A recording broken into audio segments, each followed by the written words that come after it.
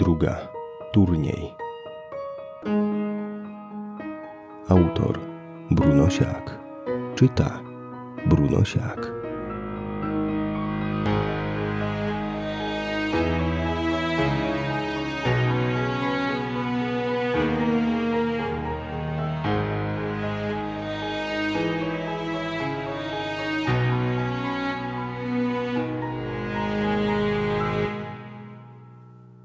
Odczekała dwa dni, zanim zaczęła poszukiwać Feryla. Na początku zastanawiała się, czy to nie jakiś podstęp, ale doszła do wniosku, że powinna zaryzykować. Koszary chłopców ze szkoły dla protegowanych mieściły się w dwóch długich pomieszczeniach wzdłuż murów zamku. W przeszłości musieli zajmować je żołnierze, ale dla nich wybudowano kwatery po obu stronach bramy. Arela, obserwując przez rok życie na zamku, rozpoznawała już jego starą część i tę dobudowaną przez Wigina. Trzonem zamku była trzyschodkowa piramida, wyglądająca tak, jakby wykuto ją w litej skale. Na jej podstawie postawiono baszty. Wzniesiono je z wielkich bloków skalnych, tak dużych, że przypuszczała, że pomagał w tym włodarz ziemi. Bloki wykorzystano również do wzmocnienia piramidalnego zamku, szczególnie na ostatnim stopniu, oraz budowy otaczających zamczysko murów. Do piramidalnego wyższego zamku prowadziło tylko jedno wejście. Może były też inne, ale zasłaniały je kamienne bloki lub cegły i ona, obchodząc zamek, takiego nie dostrzegła. Wszelkie komnaty dla najemników i służby znajdowały się w wybudowanych wzdłuż murów budowlach lub basztach. Protegowani Wigina mieszkali w dwóch budynkach. W pierwszym mieścili się młodsi chłopcy do dziesięciu lat, a w drugim starsi. Nigdy przedtem do żadnego nie wchodziła. Na początku, dlatego że protegowani okazywali jej jawną wrogość, a potem ze wstydu Musiano im zagrozić czymś strasznym, że z dnia na dzień, zamiast patrzeć na nią z nienawiścią, przylepiali do twarzy sztuczne uśmiechy. Gdy przekroczyła próg koszar starszych chłopców, serce biło jej mocno ze strachu. Spodziewała się gwałtownego sprzeciwu, może nawet agresji, ale oni po prostu milkli na jej widok i przyklejali do twarzy sztuczne uśmiechy. Był już wieczór, Czekali na kolację. Nie odróżniała się od nich niczym. Była ubrana w szary, płócienny habit. Nie nosiła broni ani pancerza. Gdy ruszyła wzdłuż rozstawionych pod ścianami pryczy, słychać było tylko jej stukające o kamienną podłogę drewniaki. Wszędzie, gdzie się pojawiła, gwar rozmów zamierał. Śmiech się urywał, jakby miała magiczną moc odbierania głosu. Żaden z chłopców nie patrzył jednak na nią wrogo. Mieli blade, wymęczone twarze i chude ciała. Wszyscy podobni do siebie jak bracia. Jasne włosy, biała skóra, szerokie twarze i grube kości. Ich oczy, chociaż zmęczone, skrzyły się inteligencją. Wigin nie chciał wśród nich takich, którzy nie rozumieją poleceń. Niektórzy nosili na habitach czarne oznaczenia, proste, pionowe kreski. Domyśliła się, że był to jakiś sposób odróżniania lepszych od gorszych, jak rangi w wojsku. Kreski nosili zarówno ci niżsi i wyraźnie wyżsi, więc to nie mogło być związane z wiekiem. Zatrzymała się na środku koszar i zbliżyła się do grupy szesnasto lub siedemnastolatków, z których każdy miał na piersi pięć kresek. To było najwięcej, ile kiedykolwiek widziała. Szukam Feryla, powiedziała cicho. Nie chciała, by odczuli, że im rozkazuje. W oczach jednego z chłopców coś błysnęło. Wstał z pryczy i wyprostował się przed nią. Okazał się wysoki i szeroki w barach. Był od niej wyższy o głowę. Tu nie ma takiego, powiedział. Może to jakiś szczyl z małego baraku. Kilku z chłopców roześmiało się głośno. Ten, którego zapytała, również się uśmiechał, ale oczy były zimne, brązowe i zimne jak lód. Kalser mnie przysłał. Kazał szukać Feryla. A dlaczego Kalser miał cię przysyłać? Z zagrobu? Zabiłaś go i podobno stąpałaś potem po jego trupie. Tak nam powiedziano. Deptałaś jego krew. Chłopak założył ręce na piersi i rozstawił nogi. Areli zaschło w gardle. Wydarzenia sprzed trzech dni były jeszcze świeże. Po walce, kiedy dwóch mężczyzn wywlokło z areny ciało Kalsyra, ona wciąż tam stała, niezdolna się ruszyć. Patrzyła na zakrwawiony piach. Czerwony piach nasiąknięty krwią. Nie pamiętała, jak znalazła się w swojej komnacie, nie pamiętała, kiedy zasnęła. Gdy się obudziła, siedział przy niej Hirus. Długo płakała w jego ramionach. Był dla niej jak ojciec. Nigdy kogoś takiego nie miała. Wypłakała ból i strach. Zabiła Kalsyra, ale nie miała wyjścia. Ona albo on. Lokrytejczyk powtarzał jej, że są rzeczy ważne i ważniejsze, a własne życie jest zawsze ważniejsze niż życie obcego. Arela popatrzyła na stojącego przed nią barczystego chłopaka i zagryzła wargę do krwi. Ból ciała zdusił płacz. Przełknęła z trudem silnę. Kalsyr kazał mi porozmawiać z Ferylem. Powiedziała cicho. Zaprowadźcie mnie do niego. Co? Roześmiał się barczysty chłopak. Co mam zrobić? Mówiłem ci przecież, że tu nie ma żadnego Feryla. Popatrzyła mu w oczy i zobaczyła w nich chęć mordu. Wiedziała, że jej nie pomoże. Feryl! krzyknęła i obróciła się, by obejrzeć twarze otaczających ją chłopców. Myślała, że to któryś z nich. Popatrzyli po sobie ze zdziwieniem. Zapomnieli nawet o sztucznych uśmiechach. Kąciki ust opadły. Przez chwilę wszystko ucichło. Milczeli i stali w bezruchu. Pomyślała, że kalser z niej zakpił. Może sądził, że jego koledzy go pomszczą. Potem jednak dostrzegła łysego, niewysokiego chłopca, który przyciskał się przez nieruchomy tłum. Nie miał na habicie ani jednej kreski i niczym się nie wyróżniał, oprócz kilku regularnych blizn na czaszce. Był tak chudy, że koszula wisiała na nim. Nie mógł mieć więcej niż osiem lat. Inni rozstępowali się, gdy mówił do nich szeptem. Słychać było tylko klekot jego drewnianych chodaków. A przecież powinni go wypędzić. Był wyraźnie młodszy i to nie był jego barak. Podszedł do Areli i bez słowa wziął ją za rękę. Poprowadził ją na najbliższą pryczę i usiadł. Wskazał miejsce obok siebie. Uśmiechnął się. Gdy usiadła obok, podniósł rękę i nagle wszędzie eksplodowały rozmowy i śmiech chłopców. Zrobiło się głośno, tak głośno, że żeby się słyszeć, musieli się stykać czołami. Co mi powiesz? zapytał. Arela oblizała usta. Kalsyr ma dwa, wyszeptała. Chłopak milczał przez chwilę, a potem skinął głową. Kalsyr był moim przyjacielem i bratem, powiedział. Przyjacielem i bratem nas wszystkich. Skoro podał ci hasło, to oznacza, że mogę ci zaufać. Nie chciałam go zabić, wyszeptała drżącym głosem. On chciał, walczył. Każdy z nas walczy i zabija Arela. Co roku od ukończenia czterech lat. Wszyscy zabiliśmy.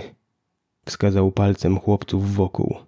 Zawsze zabijaliśmy swoich braci, z którymi trenowaliśmy i się uczyliśmy. Czasem nawet zabijaliśmy przyjaciół. On skądś wie, kto jest z kim najbliżej i często ich stawia naprzeciwko sobie.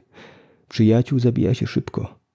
Mówili mi, że nie pozwoliłaś mu długo cierpieć. Dziękuję ci za to.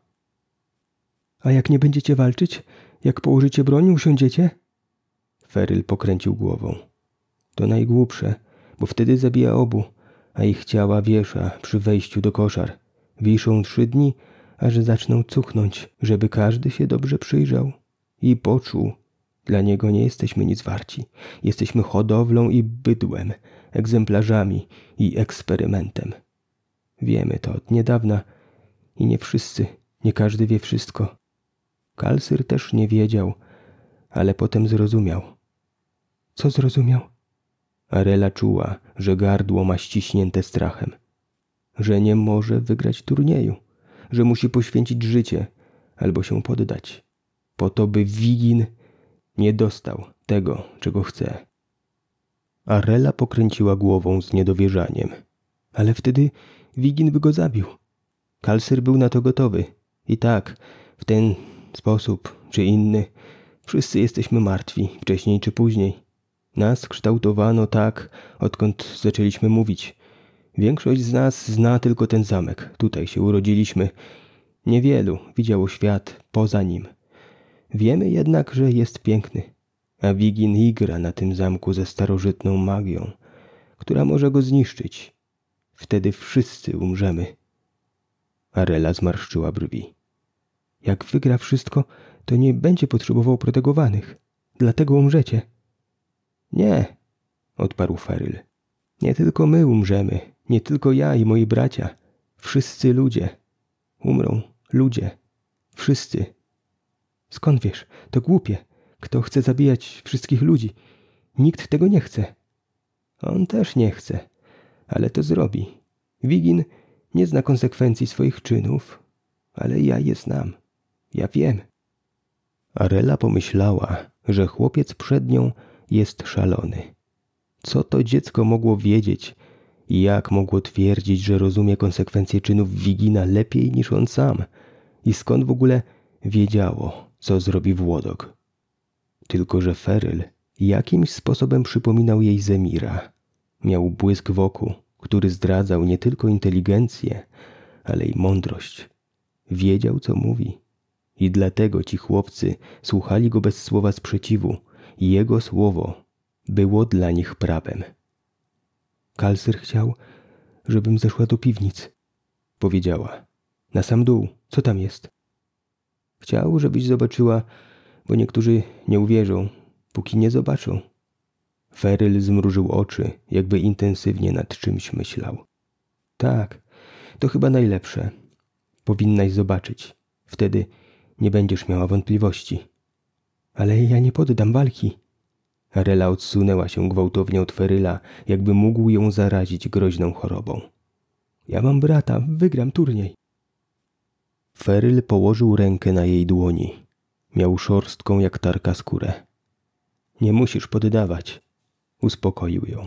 Zaprowadzę cię tam i sama zrozumiesz. Dziś w nocy. Ale czy na pewno chcesz iść? Arela wiedziała, że nie powinna. Liczył się tylko Zemir, jej ukochany braciszek, tylko on. Ale jeżeli Feryl mówił prawdę, jeżeli Wigin jest szalony i jej wieś nie była daleko od tego zamku, tylko kilka godzin, musiała się przekonać, musiała wiedzieć. Dziś w nocy, powtórzyła za chłopcem. Dziś w nocy zaprowadź mnie do zamkowych podziemi. Wiał zimny, nieprzyjemny wiatr, a chmury zasnuwały niebo tak gęsto, że nie widzieli ani gwiazd, ani księżyca. Szli wzdłuż muru w ciemności. Arela dotknęła dłonią kamieni. Były wilgotne, lepkie i zimne. Tak zimne, że poczuła dreszcz. A może to był strach? Na dziedzińcu kręcili się już tylko znudzeni wartownicy, rozpoczynający lub schodzący ze służby. Patrzyli w ziemię i powłóczyli nogami, byle prędzej trafić na koje lub do jadalni. Tam czekał na nich posiłek i słabe piwo. Feryl szedł w habicie, a stopy miał owinięte szmatami tak, że wystawały z nich palce. Poruszał się bezgłośnie jak lis. Arela próbowała go naśladować, ale miała wrażenie, że skóra, z której wykonano jej buty, trzeszczy tak głośno, że zaraz ktoś krzyknie i każe im się zatrzymać. Pod habitem ukrywała miecz. Pamiętała ten ciężki, groźny oddech dochodzący z korytarza prowadzącego w dół do podziemi starego zamku. Chciała mieć się czym bronić. Zaraz dojdziemy do zatrutej studni, szepnął Feryl. Na pewno dasz radę bez liny? Możemy wrócić, będzie ci łatwiej. Poradzę sobie. Arela poczuła, że w środku rozlało jej się gorąco. Wiedziała, że zejdzie niecałe dwa sążnie w głąb studni, tym bardziej idąc drogą wyznaczoną przez Feryla. Była wyższa i we wspinaczce miała nad nim przewagę. Zbliżali się do żołnierskich koszar. Z okien dobiegały przekleństwa. Mężczyźni grali w kości i na pieniądze. Inaczej w ich okrzykach nie byłoby tyle zajadłości. Feryl rozpłaszczył się na ścianie baszty.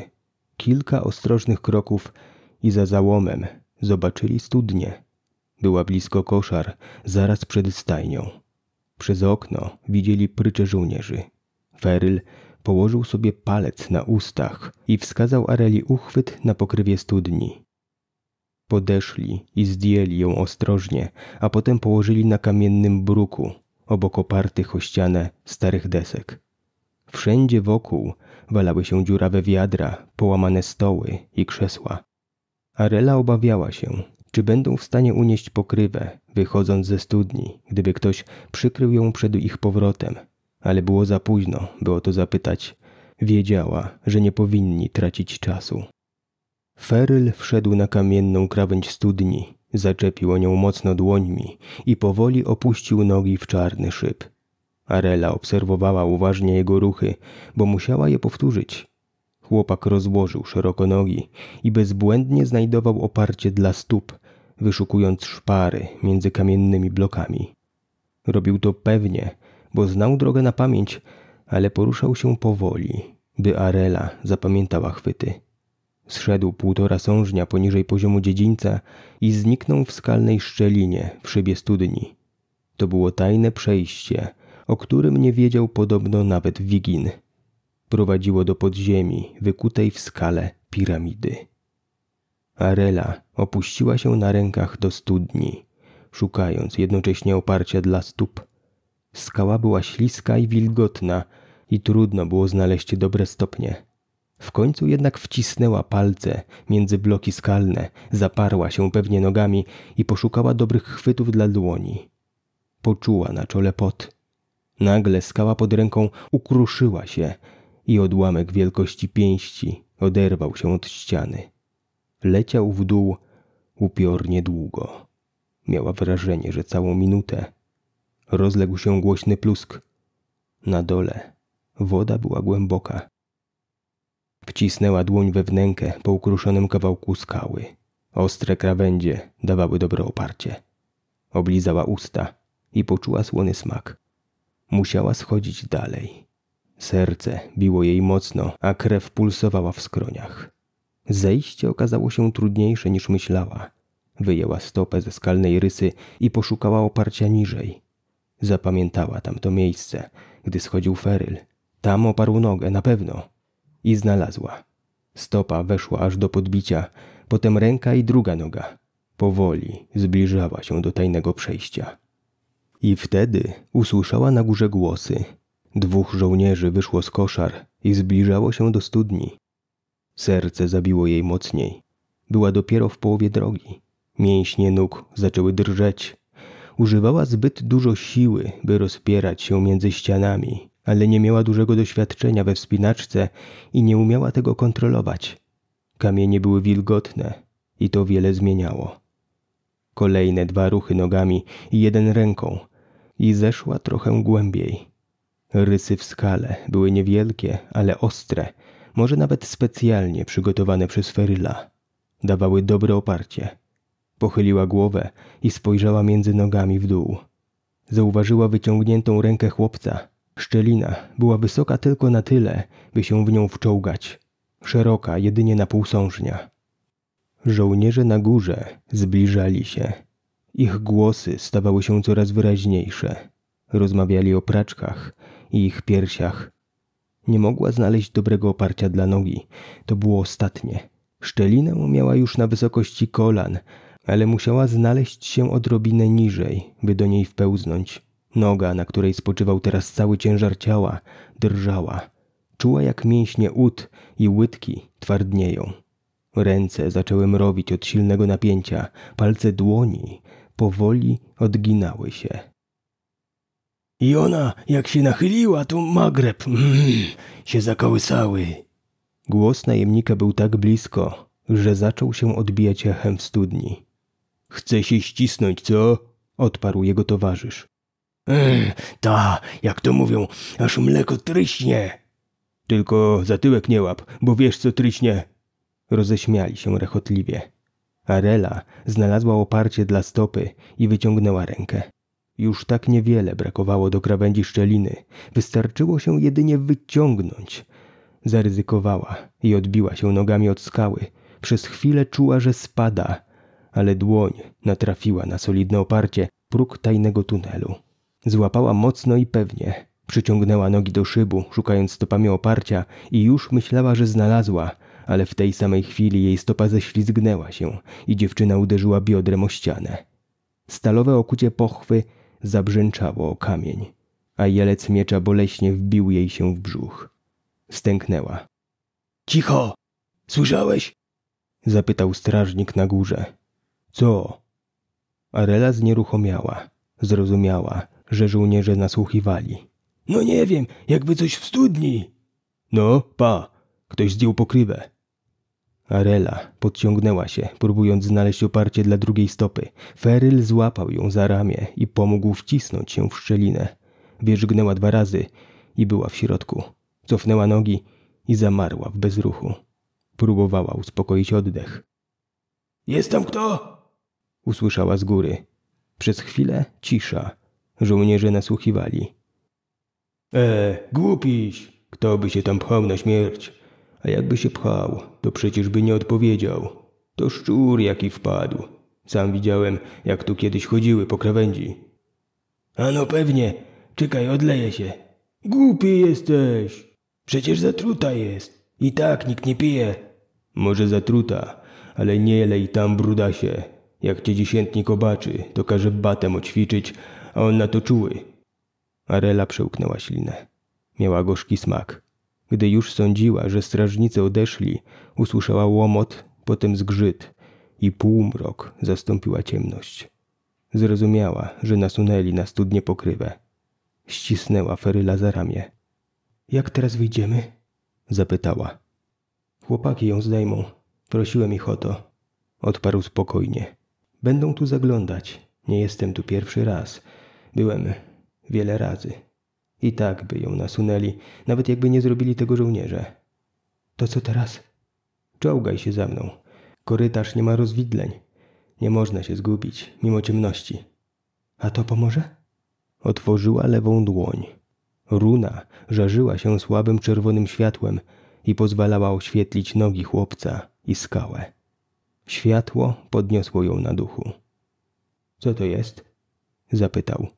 Runy starej magii. Arela uniosła brwi. Skąd ten młokos mógł to wiedzieć? Tak, runa paraliżu. Wigin w ciebie wierzy. Run nie zostało wiele, a już szczególnie tych przydatnych w walce. Miej otwartą dłoń. Ze światłem raźniej. Za mną. Feryl zaczął się czołgać. Arela odczepiła od uda pochwę z mieczem i ujęła ją w lewą dłoń. Ruszyła za chłopcem. Korytarz skręcał wiele razy.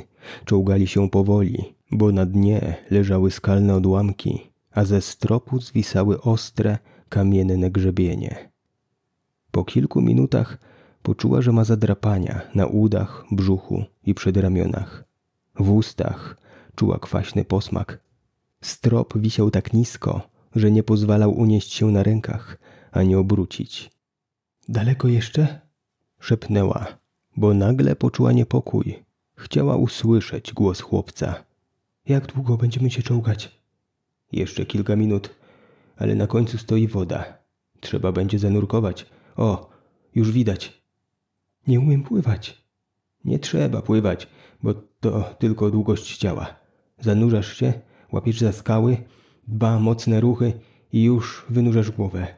Zamknij oczy, bo woda będzie po mnie zamulona, ale z łatwością natrafisz na występy skalne, by je chwycić. Przeciśnij się tuż przy dnie. Rób to, co ja. Arela oświetliła zbiornik w tunelu. Na powierzchni unosił się biało-żółty osad. Feryl najpierw zanurzył ręce i tułów. Woda musiała być zimna, bo oddychał szybko 30 sekund, a potem z pluśnięciem zanurzył głowę. Arela poczuła uderzenie paniki. Minęła minuta, zanim uspokoiła oddech.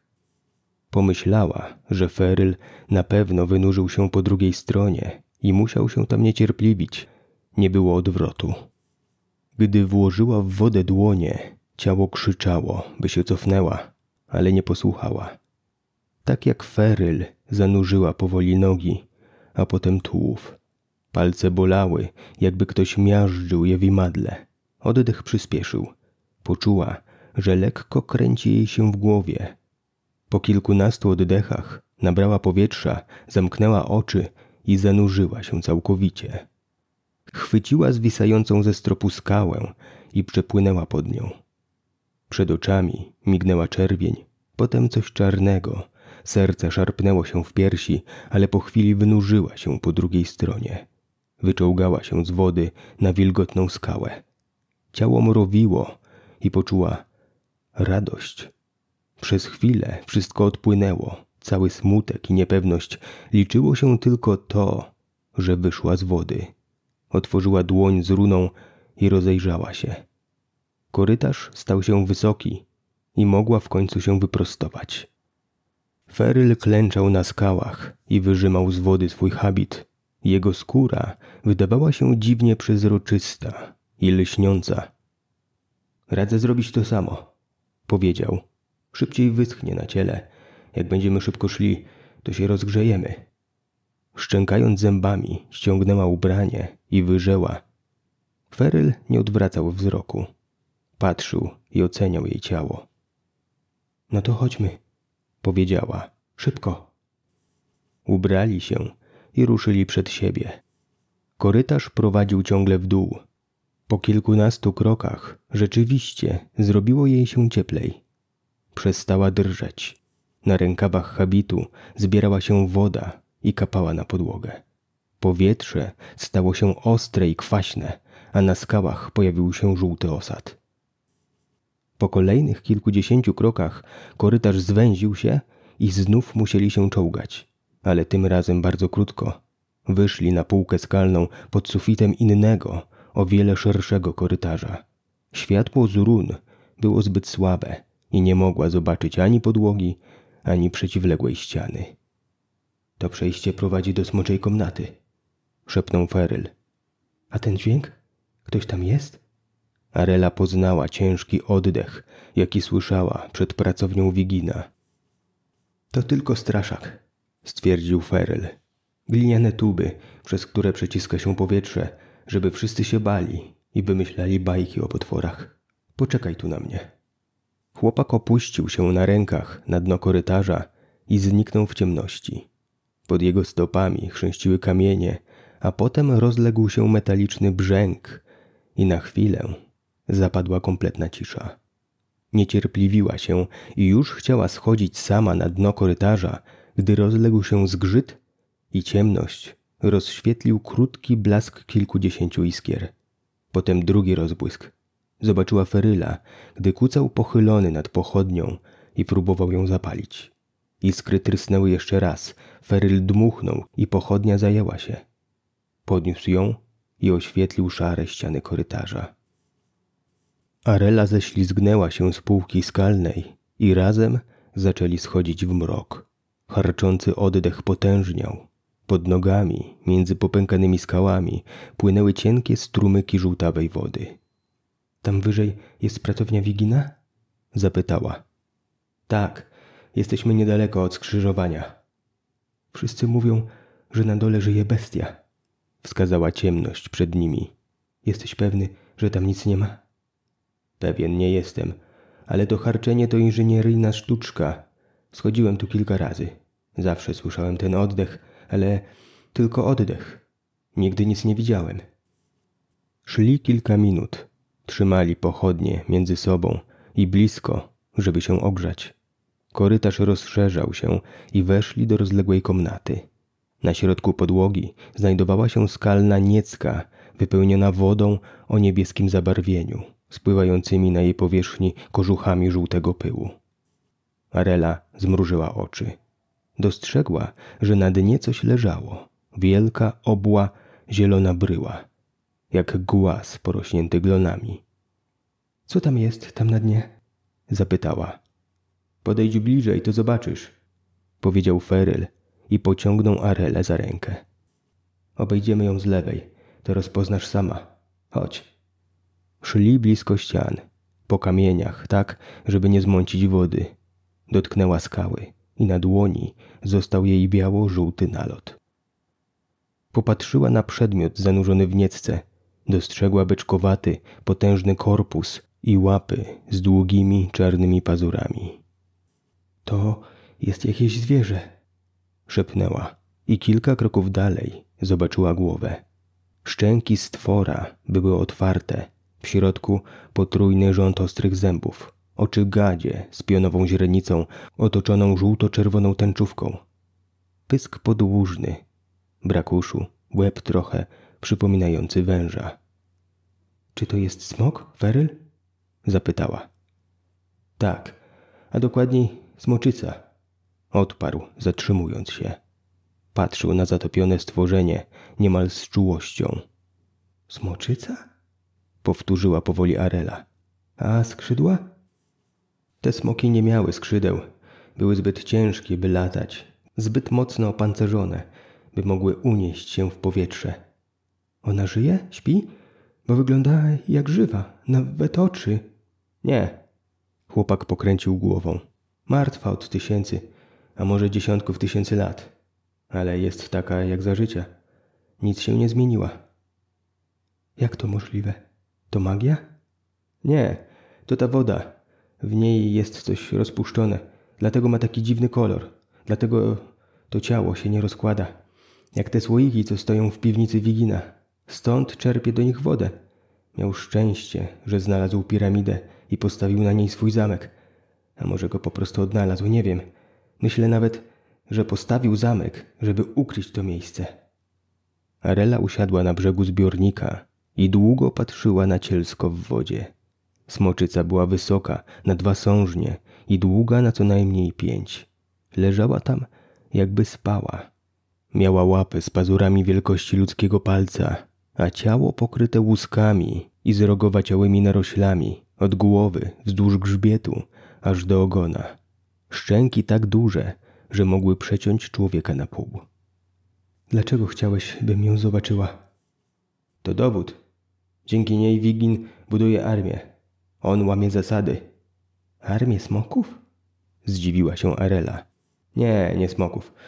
Tego chyba nie zrobiliby wszyscy włodarze mocy tego świata. On tworzy smoczych ludzi. Korzysta ze starej magii, z jej strzępów, jakie tu zostały. Arela pokręciła głową. To wszystko było jak sen. Jak? zapytała. Ja jestem jego tworem, powiedział Feryl spokojnie. Dowodem. Widzisz te dwa korytarze tam wyżej? Wyciągnął pochodnie nad głowę. Tam się rodzimy. Część chłopców ze szkoły protegowanych, ale i smoczy ludzie. Ja jestem jego błędem, błędem Wigina, nieudaną, jak sądził, hybrydą, jego przeoczeniem. Wiesz, co to hybryda? Arela pokręciła przecząco głową. Jeszcze dzisiaj rano wszystko było takie proste. Jej celem był turniej. Miała wygrać, wrócić do Zemira i spełnić jego marzenie. Ale teraz wszystko się skomplikowało. Hybryda to połączenie dwóch gatunków. Wigin chce połączyć człowieka i smoka. A skąd wiesz? Widziałeś ich, tych smoczych ludzi? Feryl uśmiechnął się. Codziennie jednego widzę. W lustrze. Chłopak podszedł do Areli i oddał jej pochodnie. Popatrz. Zdjął habit i wyprostował się przed nią. Zacisnął pięści, jego twarz napięła się, usta zrobiły się na chwilę sine, a potem jego skóra stała się szklista. Wydawało się jej, że pokryła się cienką warstwą lodu.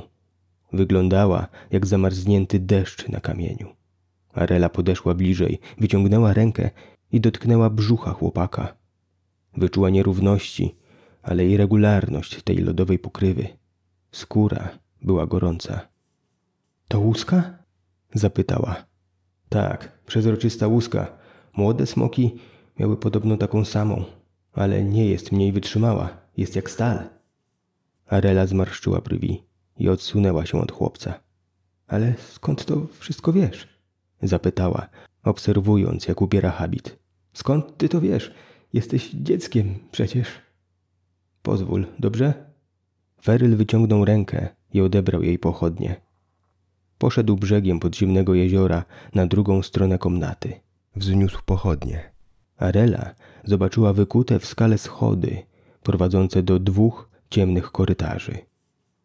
To tam się rodzimy, powiedział, ale nie pójdziemy tam, bo któryś może akurat dojrzeć, a to niebezpieczne. Niektóre hybrydy są agresywne i chcą zabijać. Ale skąd to wiesz? Przecież masz osiem lat. Kto ci powiedział? Feryl westchnął, a potem wskazał na korytarz. Dużo by mówić, ale wracajmy już. Opowiem po drodze. Arela pokręciła głową. Nie, powiedz teraz. Chcę wiedzieć. Zmarszczył brwi. Wyczuła, że to nie było po jego myśli, ale opanował się i jego twarz znowu stała się pogodna. Dobrze, opowiem, jeśli chcesz. Siądźmy tu, wskazał na duży głaz. Tutaj nie ma tego osadu jest miejsce na pochodnie. Wyschniemy trochę. Często na nim siadywałem, by popatrzeć na matkę. Arela usiadła obok chłopca. Położyła miecz na kolanach. Ogień pochodnie ogrzewał przyjemnie nogi. Wigin nie rozpoznał we mnie smoczego człowieka. Rozpoczął Feryl. Nie wiem, czy to przez nieuwagę, przypadek, czy z jakiegoś innego powodu. On nie daje smoczych ludzi do szkoły protegowanych. Tam trafiają odpady, nieudane hybrydy. Tam wysyłani są chłopcy, gdzie połączenie idei nie nastąpiło. Idei? zapytała. Tak, wskazał dłonią na serce.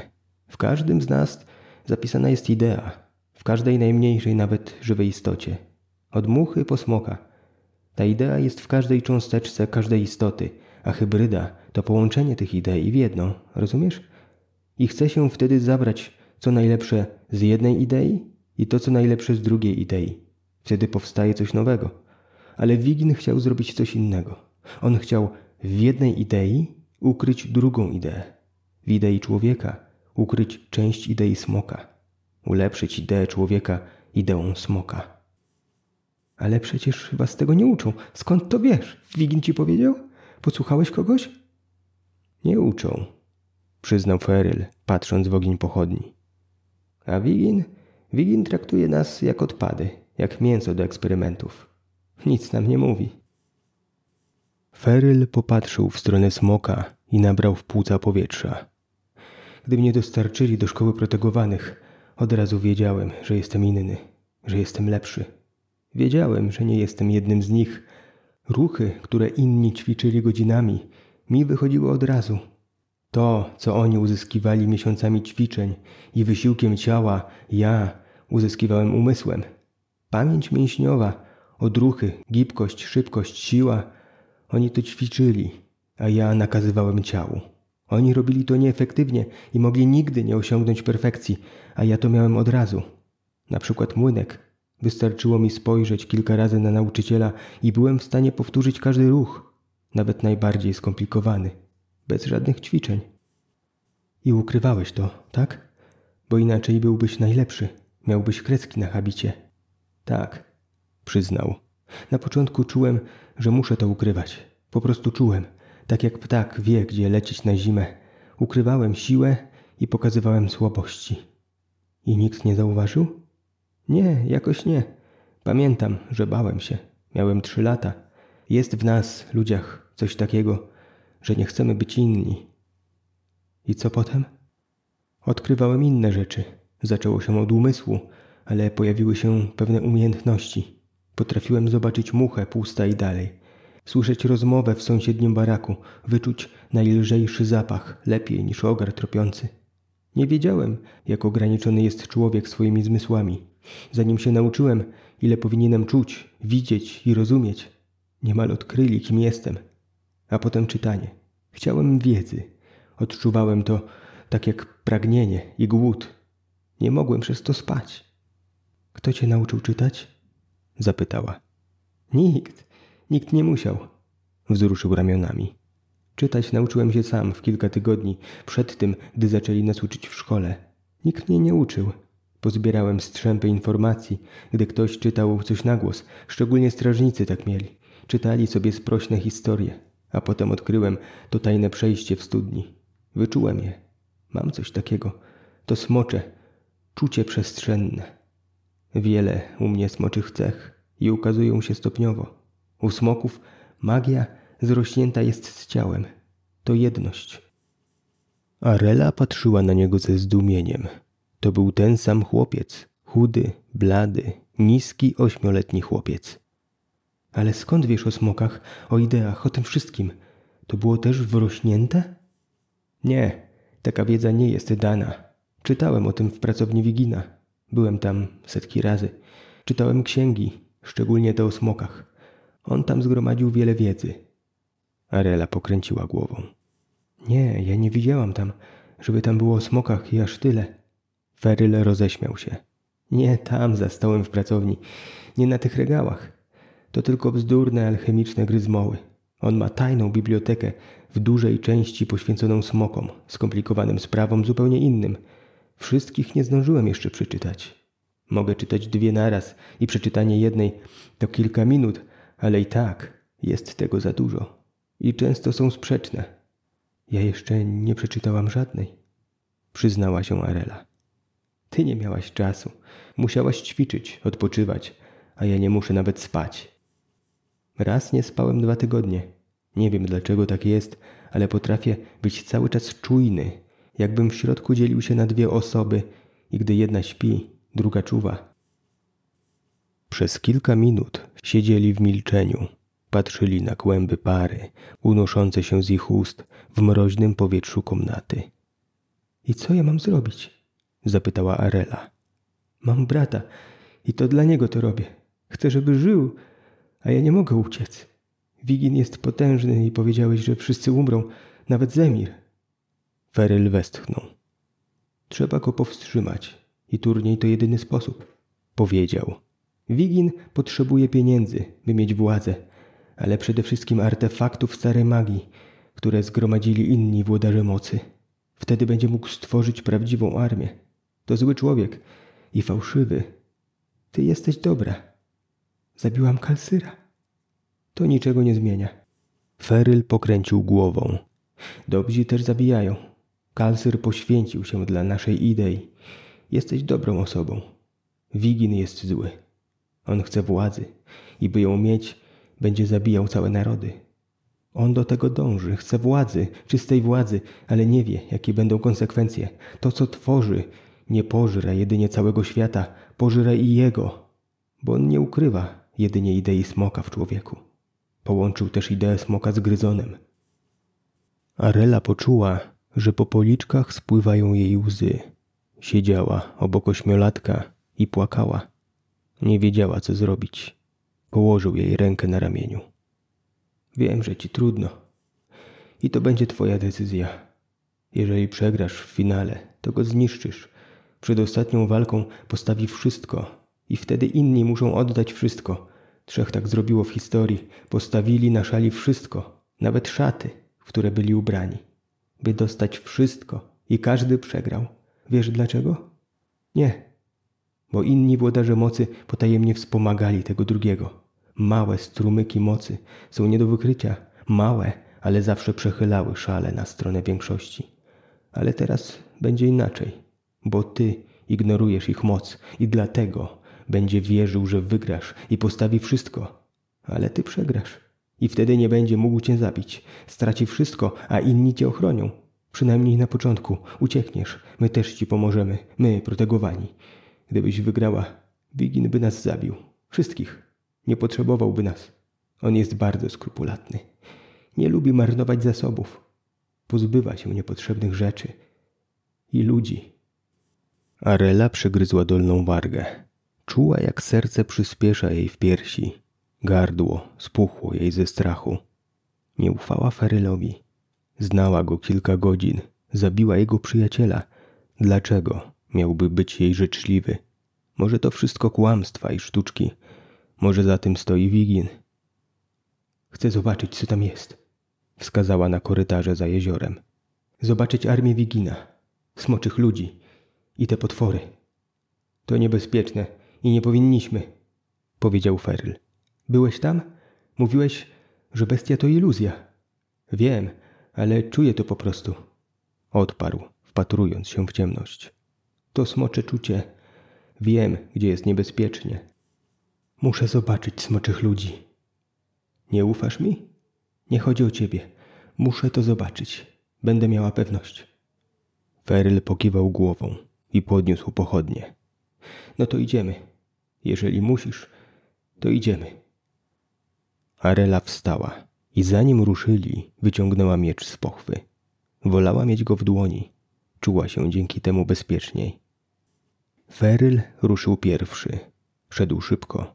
Okrążyli jezioro i stanęli u stóp schodów. Usłyszała ciężki, harczący oddech. Zdawało jej się, że dochodził z obu tuneli. Ochrypły dźwięk zaciąganego i wypuszczonego powietrza. Powolny i groźny. Na twarzy poczuła wydobywający się z tunelu ciepły, cuchnący, kwaśny podmuch. To gdzie idziemy? zapytał Feryl. Prawa czy lewa odnoga? Dla mnie z obu tak samo czuć śmiercią. Arela wskazała sztychem miecza lewy korytarz i chłopak ruszył schodami pod górę. Stawiał stopy powoli i ostrożnie na wąskich stopniach. Weszli do korytarza. Skała była tam jaśniejsza, wilgotna i odbijała światło pochodni. Podłogę pokrywała cienka warstwa wody. Po kilku krokach natrafili na rozwidlenie. Mogli pójść w sześciu kierunkach. Niektóre z odnóg wznosiły się, a inne opadały. Arela zobaczyła na ścianach wyryte w skale regularne znaki. Rozumiesz te napisy, Feryl? Ani jednego. Ich chyba nie zrobił Wigin. Chłopak położył rękę na wyrytych w ścianie literach. Nie, one są bardzo stare. Bardzo. Tysiące lat. A więc te korytarze, to wszystko, to nie jest dzieło Wigina? Nie, potwierdził. On tylko to odkrył i wykorzystał. I obawiam się, że historia się powtórzy. Z tych korytarzy przed tysiącami lat wyszło to samo zło i zniszczyło świat. A na jego zgliszczach, popiołach i szkieletach urodziliśmy się my, ludzie. Historia lubi się powtarzać. To gdzie idziemy? Feryl wzruszył ramionami. Ty wybieraj. Arela przejęła od niego pochodnie i poprowadziła ich tunelem w dół. Skalne ściany były tam gładkie, ale pokryte białym szlamem. Po kilkunastu krokach znowu natrafili na rozwidlenie i mieli do wyboru sześć tuneli. To labirynt, szepnęła. Słyszała wyraźnie ciężki oddech bestii, jakby ta się zbliżała. Ciepłe powietrze drapało ją w gardło. Znowu wybrała korytarz prowadzący w dół. Zapamiętasz drogę na pewno? Zapytała Feryla, a ten pokiwał głową. Tym nie musisz się martwić. Po kilkunastu krokach napotkali kolejne rozwidlenie, ale mieli do wyboru tylko trzy korytarze. Żaden się nie obniżał. Arela obejrzała runy wyryte przy wejściu do każdego, ale nic jej nie mówiły. Nasłuchiwała przez chwilę przy każdym z korytarzy. Usłyszała echa wilgotnych kroków. Szerokie łapy uderzały o lustro wody, pazury drapały skałę. Słyszysz to? Feryl potwierdził skinieniem głowy. Gdzie to jest? Jest tego kilka. Porusza się, krąży. Co to jest? Strażnicy, bestie, jakie powołał do życia Wigin. Połączona idea gryzona i smoka. Arela zacisnęła mocniej dłoń na rękojeści miecza. Żałowała teraz, że nie zabrała tarczy. Jak będzie blisko, to powiedz. Wtedy się wycofamy. Już powinniśmy. Ciągle są blisko. Arela wybrała kolejny korytarz, a potem kolejny. Kompletnie straciła orientację, ale chciała być dalej od charkotu potworów. Były naprawdę blisko. W oczach Feryla też widziała strach. Chodź szybciej, pospieszył ją. Zaraz dojdziemy do. Urwał, bo jego słowa zagłuszył głośny ryk niosący się echem po korytarzach. Arela wyczuła na plecach podmuch gorącego, smrodliwego powietrza. Bestia była za nimi, z tyłu. Zaczęli biec, nawet się nie oglądając. Feryl minął kolejne skrzyżowanie i sam wybrał drogę. Arela odwróciła się. W ciemności za nimi, na granicy światła, zobaczyła czarny, mokry kształt. Wielki jak niedźwiedź, ale zwinny i gibki. Biegł, drąc pazurami skałę. Głowa podłużna, bez włosa, śliska i pozbawiona dolnej szczęki. Oczy, jak u pająka, nakładały się na siebie, lśniły, a pod nimi ostry kolec. Ociekał czymś lepkim. Poczuła, jak naprzemiennie oblewa ją zimno i gorąco. Wiedziała, że walka ze stworem zakończyłaby się dla niej śmiercią. Zadrżała, bo gdzieś z głębi plątaniny korytarzy usłyszała kolejny ryk, a chwilę potem następny. Dochodziły z każdej strony. Chciała krzyczeć do Feryla, by biegł szybciej, ale na gardle zawiązał jej się węzeł. Chłopak biegł jedynie w szmatach owiniętych na stopach, ale nie starał się omijać ostrych kamieni. Nie raniły go, bo skóra pokryła mu się przezroczystą łuską. Komnata! krzyknął. Przed nami komnata! Widziała przed nimi jedynie mrok. Mówił o komnacie tak, jakby to był dla nich ratunek. Nie potrafiła zrozumieć dlaczego. Obejrzała się. Od ciemnozielonej, pręgowatej czernią bestii dzieliło ich tylko kilka kroków. Stwór biegł, wyginając grzbiet jak kot. Długie, czarne pazury zgrzytały o kamienie. Tylne łapy były dłuższe niż przednie, przez co wydawał się pochylony do przodu. Kolec na głowie rozwarł się lekko. W środku wiło się coś fioletowego, przypominającego gniazdo węży. Szybciej! krzyknął Feryl. Wyprzedzał ją o kilka kroków. Dostrzegła wejście do komnaty. Wysoki portal otoczony runicznymi inskrypcjami. Stwór dyszał na jej plecach. Czuła niemal jego oddech. Wybiegła z korytarza między nieregularne, wyrastające z podłogi skalne kolumny, wyglądające jak skamieniały las. Jedne były grube, jak wiekowe dęby, a inne cienkie, jak leszczyna i młode sosny.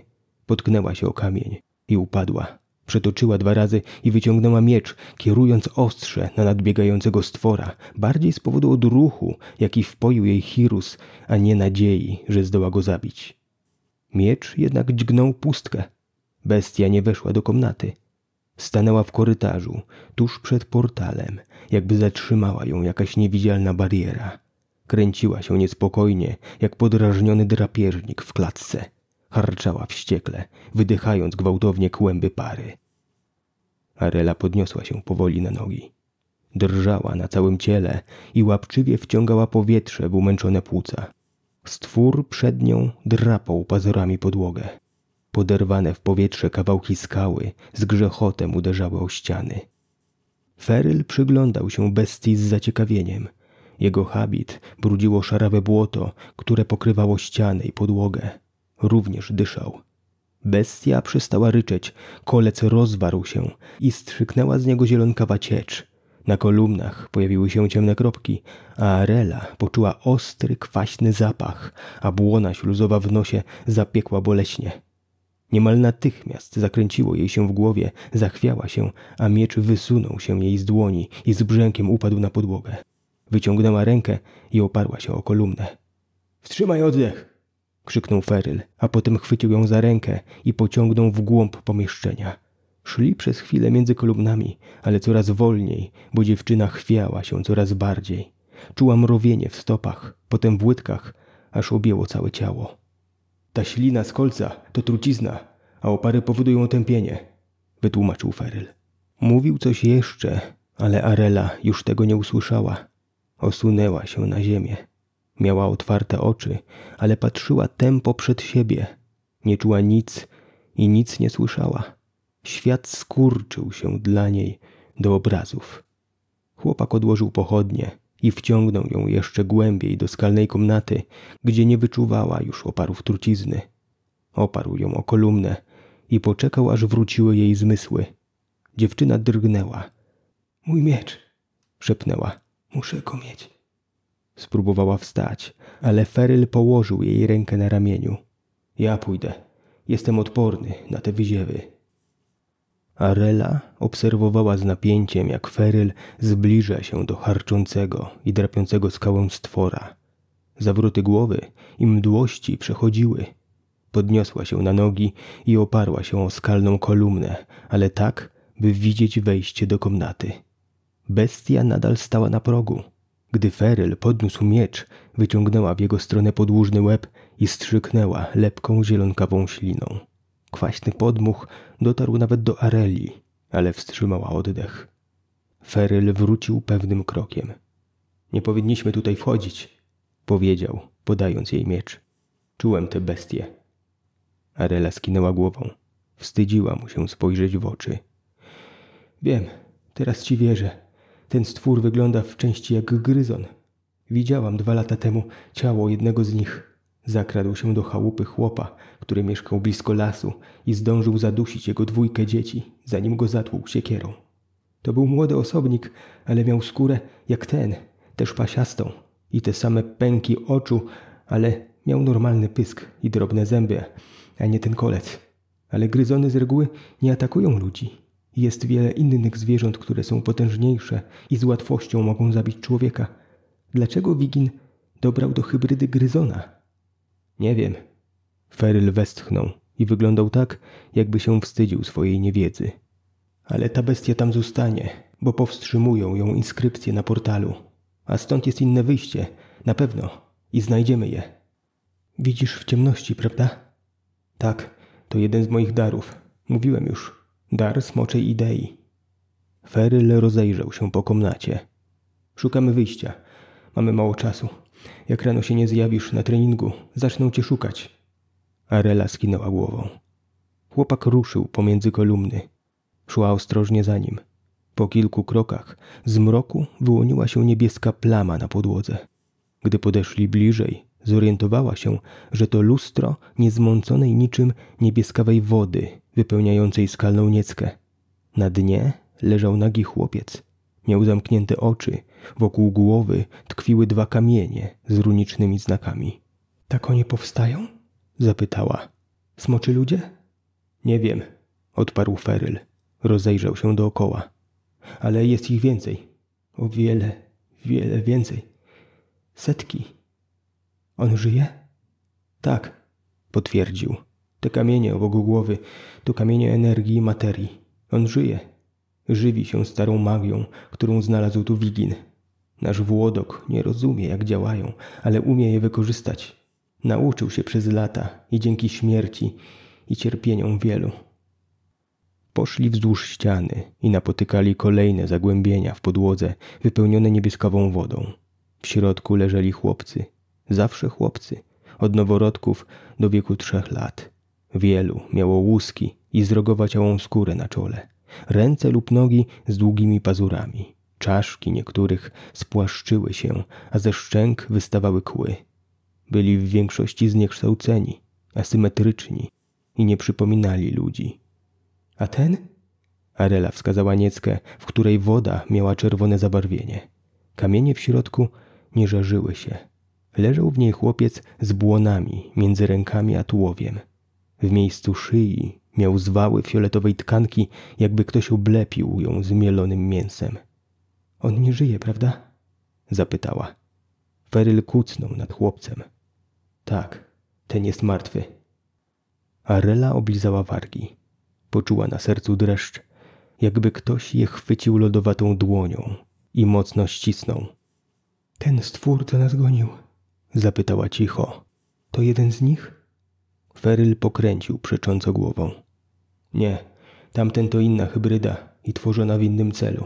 W tej komnacie próbuje ukryć ideę smoka w idei człowieka, ale w większości się to nie udaje. Większość z tych, których minęliśmy, czeka śmierć.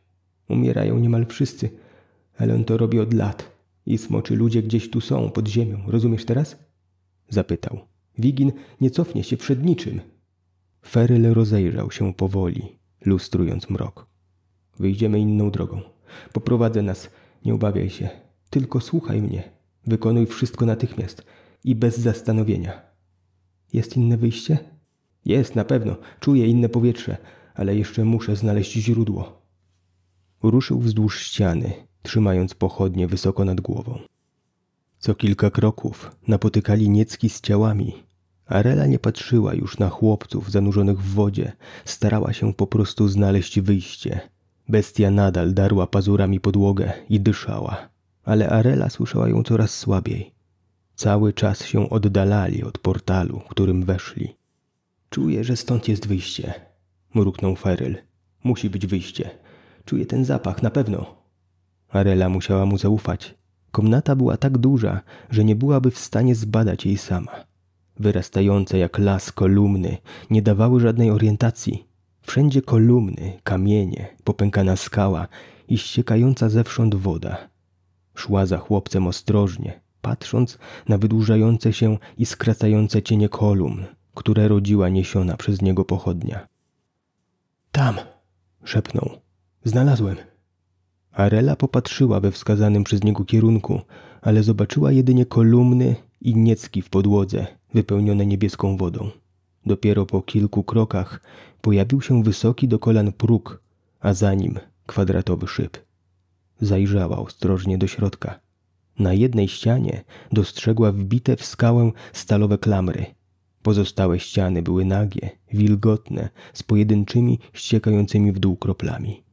Podniosła kamień i wrzuciła do środka. Nasłuchiwała i po kilku sekundach usłyszała głośny plusk. To studnia?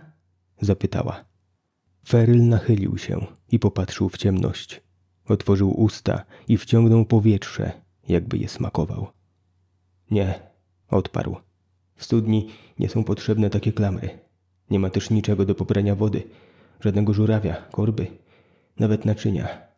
To co innego. Co, Feryl?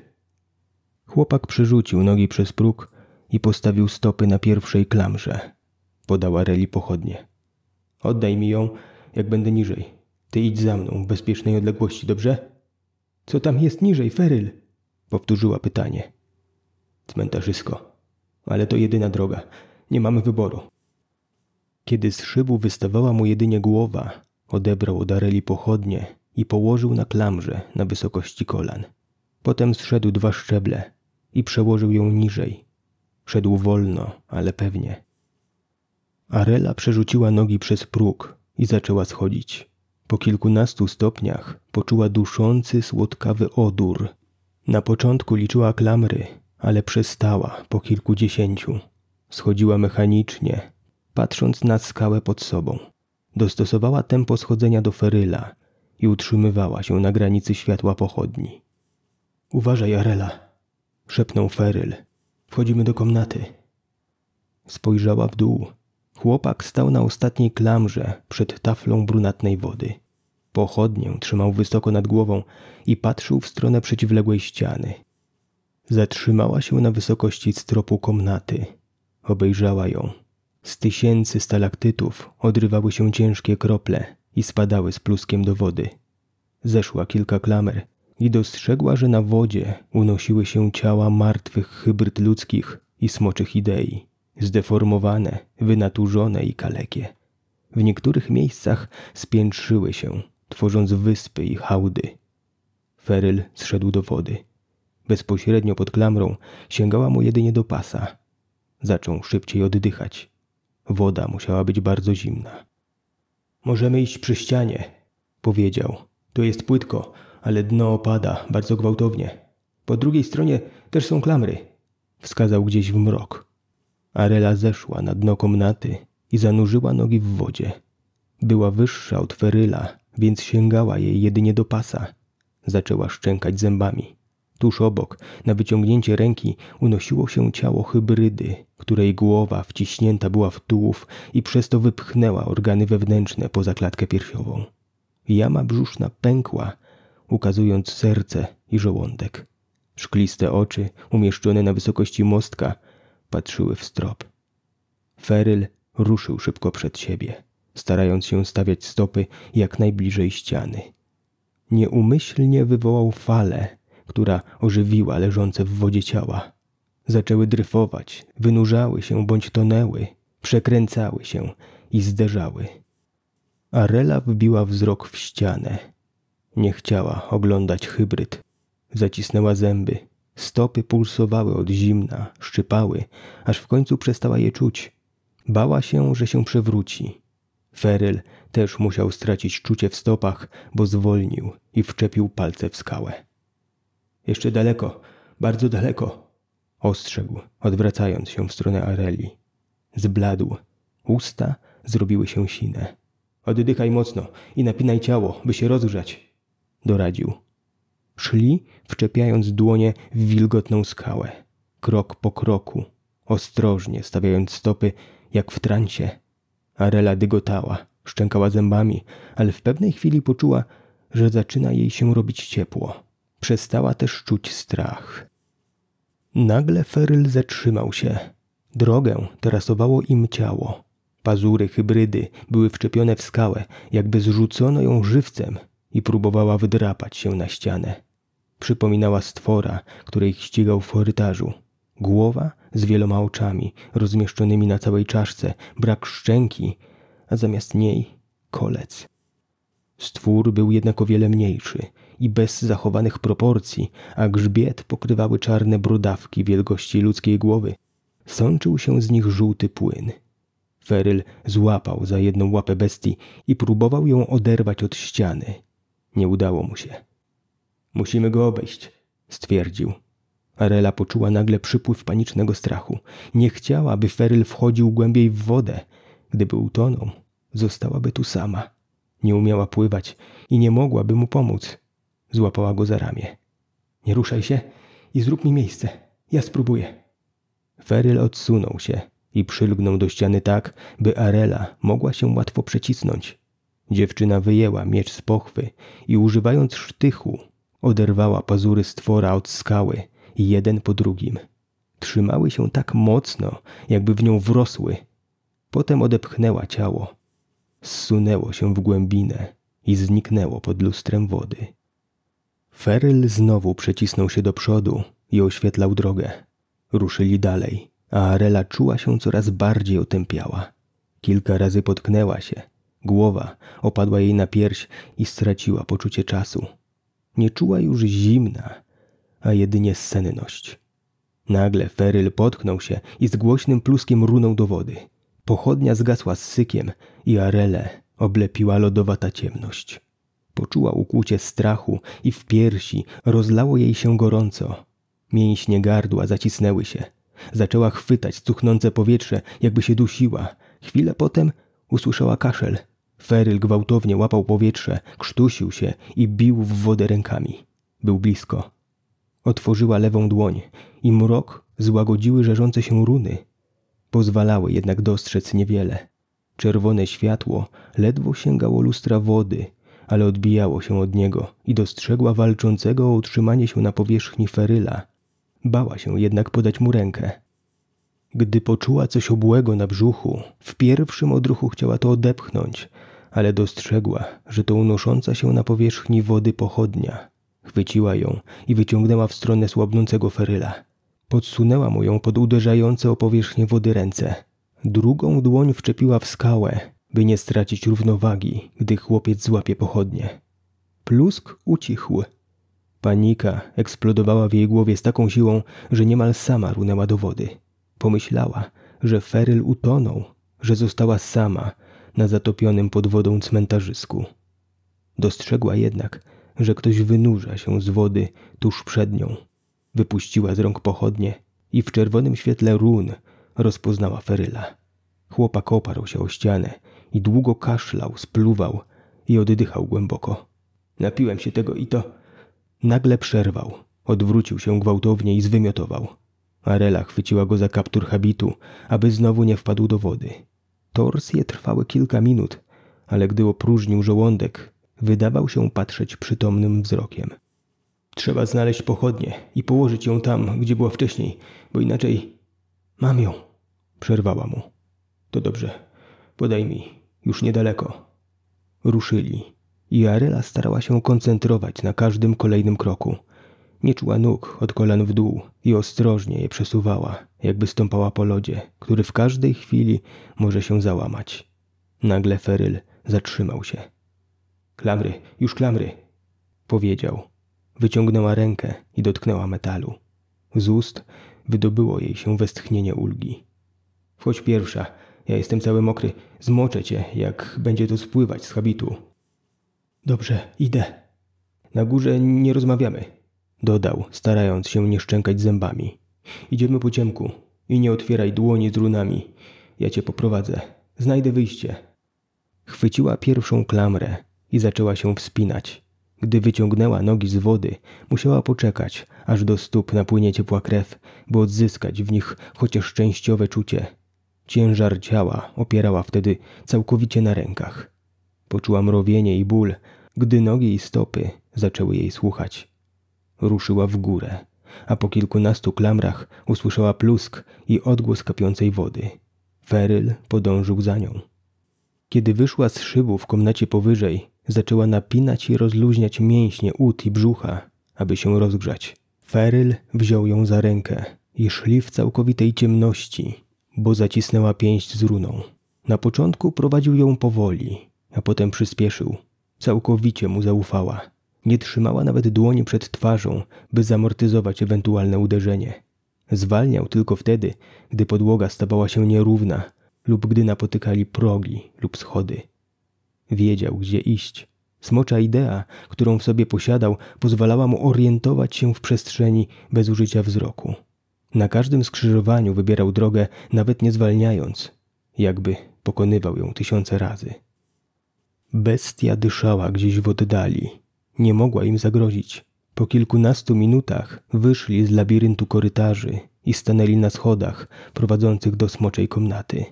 Rozpoznała ją po wilgotnym i kwaśnym powietrzu. Feryl usiadł na ostatnim stopniu schodów, by złapać oddech. Możemy już mówić. Bestia tutaj nie wejdzie. Tutaj jest bariera, jak w tamtej komnacie. Odpoczęli, obeszli jezioro i zaczęli iść pod górę korytarzem w stronę pracowni Wigina. Szli w milczeniu. Arela miała przed oczami wszystkich leżących w wodzie chłopców. Nie mogła przestać o nich myśleć. Wkrótce napotkali pochodnie w korytarzu. Feryl wsadził w metalowy koszyk mokrą, wyjął suchą i zapalił ją swoim krzesiwem. Ilu myślisz ich tam było w tej komnacie? Zapytała, gdy udało mu się ją zapalić. Niemal cztery tysiące, jakby liczyć, że każda niecka zawierała żywego, powiedział niemal bez zastanowienia. Około. No i ta druga komnata. Tam nie liczyłem niecek, ale można przyjąć, że była tak samo duża. Po co mu tyle smoczych ludzi? Chce władzy. Mówiłem ci. To fałszywy człowiek. I oni będą go słuchać? Nie wiem. Ty nie słuchasz? Nie, ale nie chciałbym go słuchał. Ja się po prostu przed nim schowałem. Jeszcze mnie nie widzi. Doszli do skalnej półki ze szczeliną prowadzącą do tajnego korytarza. Feryl poczekał, aż Arela wdrapie się na górę, a potem zgasił pochodnie i umieścił ją w metalowym koszyku. Dołączył do dziewczyny w kompletnej ciemności. W drodze powrotnej nie odzywali się do siebie. Oboje byli wyczerpani. Gdy dotarli do studni, wieko czekało otwarte. Feryl wszedł na górę pierwszy i rzucił Areli linę. Arela usłyszała stukot kopyt na dziedzińcu.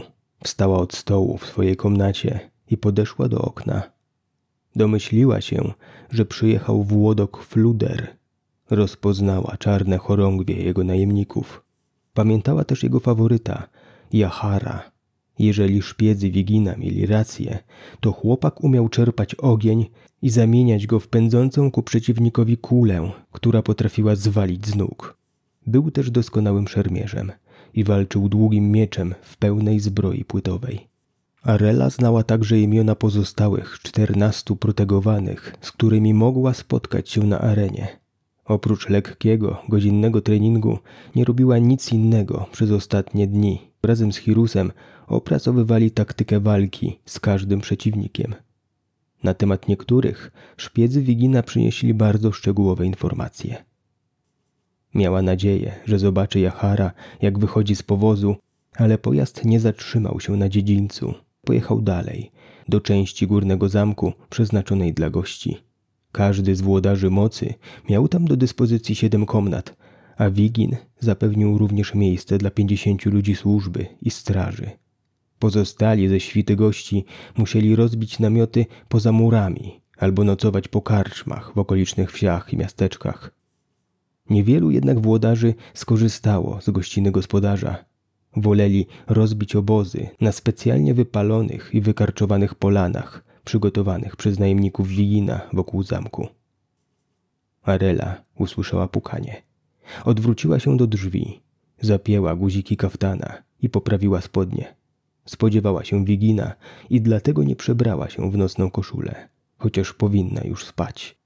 Chciała z nim rozmawiać jak równy z równym. Od walki dzieliło ją jedynie piętnaście godzin. Następnego dnia o dziewiątej rano miał rozpocząć się turniej.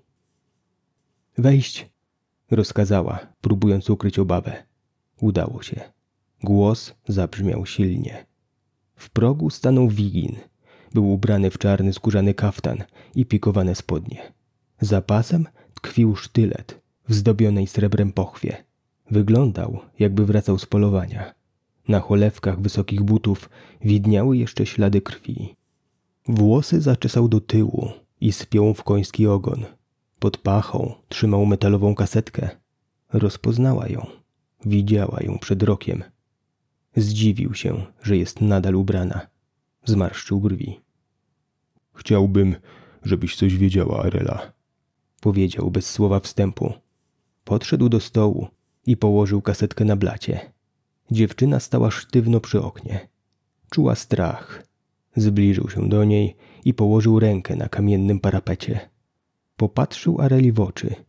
Jego pomarszczona twarz była poważna i napięta. Tutaj byli i nadal są szpiedzy. Pewnie wielu. Każdy próbował tu jakiegoś umieścić, tak jak ja chciałem umieścić swoich w ich siedzibach. Zacisnął rękę w pięść i skrzywił się. A wiesz, co jest teraz najważniejsze? Dla takiego szpiega? Arela pokręciła przecząco głową. No jak myślisz? Przecież umiesz myśleć. Wiem o tym, że umiesz. Oblizała wargi. Czy on ją sprawdzał? Tajemnice? Zapytała. Chodzi o twoje tajemnice, mistrzu Wiginie. Włodok wydał wargi. Kiedyś może i tajemnice, ale teraz liczy się dla nich tylko to, co jest tutaj. Dotknął palcem głowy Areli.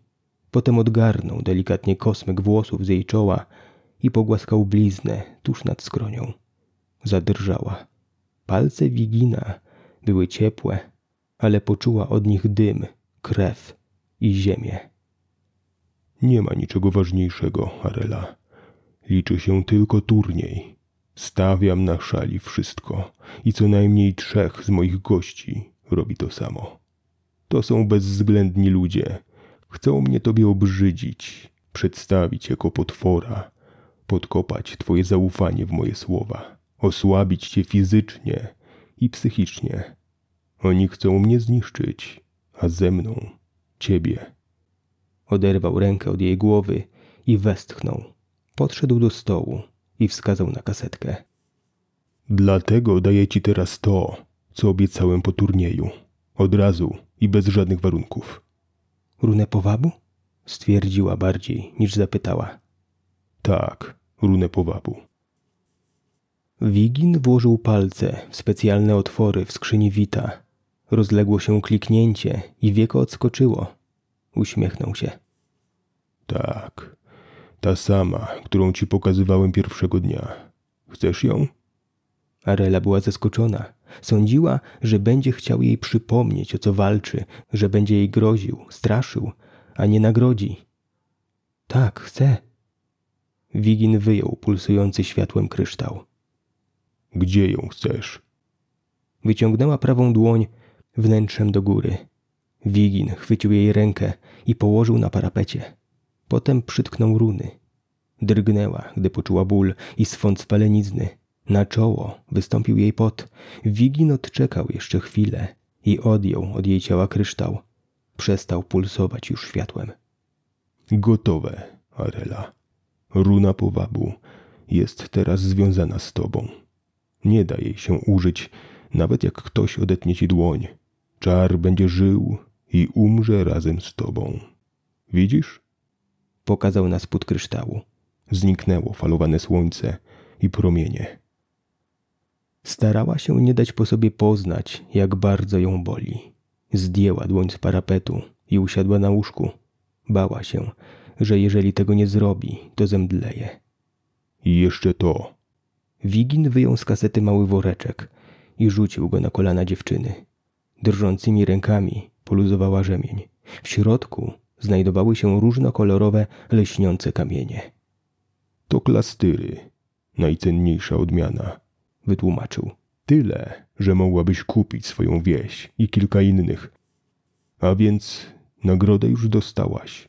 Masz wszystko. Skinęła głową.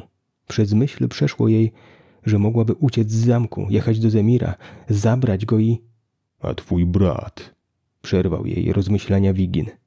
Nadal jest w tej waszej wsi? Jak ona się nazywała? Doskonale wiedział, jak się nazywała. Była tego pewna. Kielinia, wyszeptała. Tak, wysłałem tam do niego trzech ludzi. Pilnują, żeby nic mu się nie stało. Będą dbać o jego bezpieczeństwo. Moi wrogowie mogą. Zawiesił na chwilę głos. Mogą chcieć zrobić mu krzywdę. Arela poczuła, jak twarz i kark jej sztywnieją. Przełknęła ślinę. Ledwo przycisnęła się przez ściśnięte gardło. Włodok uśmiechnął się, widząc jej reakcję i ruszył do drzwi. Wpatrywała się w jego plecy. Przez ułamek sekundy pomyślała, by wyszarpnąć miecz z pochwy i go zabić. Może by się udało. Dlatego mam tam zaufanych ludzi, powiedział Wigin, kładąc rękę na klamce. Trzech silnych, sprytnych ludzi. Oni o niego zadbają. Będą wiedzieć, co robić w każdym wypadku. Otworzył drzwi i odwrócił się do niej. Daj z siebie wszystko, Arela. Jutro jest twój dzień. Jutro jest mój dzień. Turniej. Jutro zaczyna się przyszłość. Gdy Arela weszła do korytarza prowadzącego na arenę, poczuła się nagle lepiej, lżej, jakby obudziła się z męczącego koszmaru. Nie było już odwrotu. Nie musiała myśleć już o niczym innym, tylko o tym, by przeżyć. Nic ważniejszego, żadnych kalkulacji. Turniej się rozpoczął. Tego dnia wszystko miało się rozstrzygnąć. Zadrżała na całym ciele, mimo że czuła w piersiach gorąco. Na plecach, pod kirysem, płynęły stróżki potu. Ruszyła przed siebie. Po pierwszym kroku wciągnęła w płuca głęboko powietrze i powoli je wypuściła. Pod sandałami zazgrzytał piach.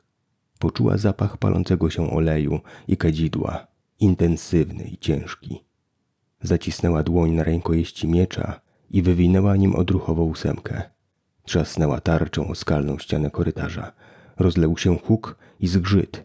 Na piasek, którym wysypana była podłoga, posypał się ciemnoszary pył. Hirus twierdził, że hałas wywołuje złość i gniew, a one dobrze przygotowują do walki. Pobudzają. Tylko trzeba je później opanować, ale potrafiła to zrobić. Fechmistrz powtarzał, że po amagiczności jej największym atutem jest chłodna głowa. Miała nadzieję, że się nie mylił. Ściany korytarza lśniły w świetle pochodni, jakby pokrywała je cienka warstwa lodu. Trochę jak wilgotne gardło ogromnego stwora. Nie wiedziała, kto wyjdzie na arenę drugim korytarzem. Losowanie pierwszej pary było tajne. Spojrzała na wetknięte w kirys pięć noży do rzucania. Na walkę z kalsyrem nie zabrała ich, ale teraz mogła natrafić na przeciwników, którzy nie nosili pełnej płyty. Rzucała na tyle dobrze, że mogła rozproszyć włodarza przy konstruowaniu zaklęcia i głównie dlatego Hirus nakazał jej ćwiczenia z nożami. Nazywał je skarusami, ale Arela mówiła na nie po swojemu, iglaki, bo miały bardzo wąski sztych, niemal tak cienki jak igła. Gdy wybiegła na arenę, Uderzyła ją cisza. Trybuny były pełne, ale nie słyszała krzyków, gwizdów, ani nawet rozmów. Tam nie zasiadała gawieć, tylko włodarze żywiołów ze swoją świtą. Patrzyli na nią obojętnie, popijając wino. Na trybunie honorowej siedział Wigin w otoczeniu ubranych na biało strażników. Po jego prawej stał Hirus w żółtym kubraku i zielonym berecie. Uczynił ręką gest, by się uspokoiła. Każdy z włodarzy zajmował na trybunach wyspę, której centralną część zajmowało drewniane, wysokie krzesło. Siedzieli w otoczeniu swoich najemników i służby. Wielu nie ufało gospodarzowi i otaczało się dodatkowo błyszczącą jak wypolerowany kryształ szklistą, ochronną sferą. Między wyspami poszczególnych włodarzy kręcili się młodzi, najwyżej dwunastoletni chłopcy w białych habitach. Nosili wodę, wino, owoce i wykwintne potrawy, sprzątali ze stołów i usługiwali gościom. Arela ruszyła powoli w stronę twardukowych słupów na środku areny. Sięgały sufitu i były na tyle grube, że mogła objąć je ramionami jedynie do połowy. Oddalone od siebie o trzy sążnie i ustawione tak, by każdy z walczących mógł stanąć przed pojedynkiem obok swojego. Słupy zapewniały oparcie i osłonę oraz wyznaczały pozycje protegowanych przed walką. Niemal nic nie zmieniło się od walki z kalsyrem. Podłogę wysypano jedynie drobnym białym piaskiem oraz uzupełniono misy na półkolumnach rozmieszczonych wzdłuż nachylonych do wewnątrz wysokich ścian. Oprócz płonącego ognia znajdowała się tam woda, potężny głaz w otoczeniu mniejszych kamieni oraz klatka wypełniona szczurami popiskującymi i gryzącymi wściekle metalowe pręty. Zanim doszła do swojego słupa, z korytarza po drugiej stronie areny wyszedł przeciwnik. Dziewczyna rozluźniła się, bo rozpoznała go. Nazywał się Flezar i był protegowanym Włodłuda Krasasa. Tego mogła pokonać. Nie mógł jej niczym zaskoczyć. Los jej sprzyjał. Niski, krępy chłopak pochodził z Wrinosu, wyspiarskiego kraju, położonego na południu, skutego lodem, pełnego żeglarzy i awanturników. Szedł powoli, bez tarczy, okuty w kirys, przedramiona osłonięte blaszanymi karwaszami, a nogi nagolennikami. Nie miał jednak rękawic, a to oznaczało, że będzie czerpał moc. Pod pachą niósł hełm, a u boku kołysał mu się miecz. Nie spieszył się, zatrzymał się po kilku krokach i przejechał dłonią po ogolonej głowie. Odnalazł na trybunach protektora i podniósł rękę, by go pozdrowić. Potem, patrząc w oczy Areli, wypluł coś brązowego na piasek przed sobą, jakieś liście, które żył w ustach. Hirus twierdził, że w Rinosi gardzą kobietami wojownikami, że w ich społeczeństwie kobiety są traktowane niemal jak własność. Fechmistrz widział w tym słabość i w części na tej słabości oparł taktykę walki. Flezar założył na głowę szyszak i zaczął powoli zbliżać się do swojego słupa. Idąc, wzbijał stopami obłoki drobnego pyłu. Zbroja chrzęściła. Uśmiechał się. Arela udawała wystraszoną. Zgarbiła się i opuściła nieco tarczę. Rozważała przez chwilę, czy jej nie wypuścić z dłoni, ale uznała, że mogło to otrzeźwić przeciwnika, mógł stać się podejrzliwy, a tego nie chciała. Hirus powtarzał, że Arela pierwszą walkę może wygrać samym sprytem, szczególnie z takim przeciwnikiem, który może ją zlekceważyć. Chłopak stanął przy swoim słupie i spojrzał w stronę trybuny honorowej. Arela również odwróciła się w stronę Wigina. Ze zgrzytem i hukiem opadły stalowe kraty i uniemożliwiły ucieczkę przez korytarze, którymi protegowani weszli na arenę. W powietrze wzbił się drobny biały pył. Każdą z krat obsługiwało dwóch chłopców w białych habitach, stojących bezpośrednio nad nią. Zniknęły dźwignie, które obsługiwał majorus Wigina podczas walki z Kalsyrem. Arela pomyślała, że to był jeden z warunków włodarzy. Nie chcieli, by Wigin kontrolował kraty, bo można było sobie wyobrazić scenariusz, w którym wpływałby tym na przebieg walki. Gospodarz wstał z pokrytego czerwonym suknem krzesła i spojrzał na arenę. Drodzy protektorzy, drodzy protegowani, powiedział. W ciszy panującej na arenie doskonale słychać było jego głos. Witam na pierwszej walce, którą zgodnie z tradycją toczy protegowany gospodarza.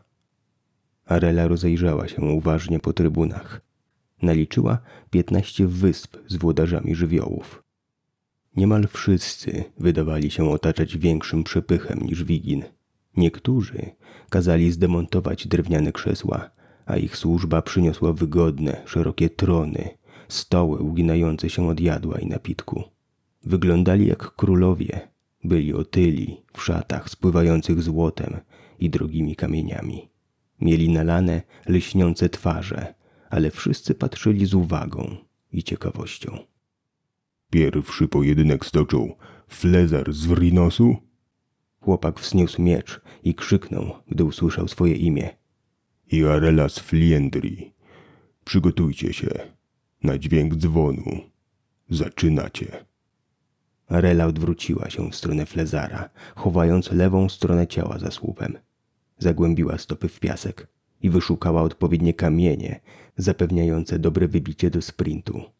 To nie był przypadek, że je znała. W wielu miejscach na arenie wystawały kamienie, o które można było się potknąć podczas walki. To nie było uczciwe, ale Arele nie obchodziła uczciwość, kiedy chodziło o jej życie. To był przywilej walki na swoim terenie. Zresztą każdy z protegowanych mógł obejrzeć arenę przed walką. Wszyscy mieli na to godzinę i mogli to robić w samotności. Wiedziała, że protegowani skrupulatnie z tego przywileju skorzystali. Uniosła tarczę, ale nie zasłoniła twarzy. Chciała, by Flezar widział jej drżące wargi i szeroko otwarte oczy. Chłopak odwrócił się i spojrzał na Arelę. Miała wrażenie, że na ustach błąkał mu się uśmiech. Opuścił miecz niedbale i poruszał rytmicznie palcami prawej ręki. Arela dostrzegła, że opuszki palców są czarne od odmrożeń, a na palcu serdecznym brakuje jednego paliczka, jakby odpadł. Dłoń wyglądała na odmrożoną. Skóra miała fioletowy odcień. Włodarze nie umieli przekazać swoich umiejętności na długo. Nawet jeżeli udało im się nauczyć kogoś czerpania i przeniesienia mocy, co było niezwykle rzadkie, to odporność na moc była wrodzona i napotykana jeszcze rzadziej niż umiejętność czerpania. Dlatego każde zaczerpnięcie niszczyło ciała protegowanych i umierali, zanim nabrali prawdziwej biegłości. Wigin nie znał przypadku, by którykolwiek z włodarzy nauką stworzył swojego następcę. Szanse na to, by napotkali kandydata, który jednocześnie potrafił nauczyć się czerpania i miał odporność na moc, były bardzo małe. Arela wiedziała, że Flezar nigdy nie będzie włodłudem, bo jego ciało nie tolerowało zimna. Czerpanie chłodu doprowadzi wkrótce do tego, że dłoń mu odpadnie, a chłopak umrze. Domyśliła się, że ruchami palców przygotowuje się do czerpania mocy i rozpocznie od jedynego czaru, który zna, czyli lodowych sopli. Szpiedzy Wigina donieśli, że zawsze rozpoczynał pojedynek od sopli i Arela na tym właśnie oparła taktykę walki. Rozległ się dźwięk dzwonu. Wyskoczyła z zasłupa i zaczęła biec. Wybierała zręcznie kamienie, ukryte płytko pod piaskiem, które dawały jej przyspieszenie. Nie musiała o tym myśleć, nie musiała patrzeć. Ćwiczyła szybki wypad z zasłupa setki razy.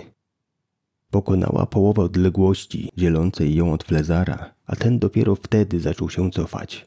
Nie potrafił tak szybko przejść od pogardy do pełnego skupienia. Uniósł miecz, ale niedbale, jakby wstydził się tego ruchu. Powietrze wokół ręki Wrinosa zgęstniało, a twarz pobielała.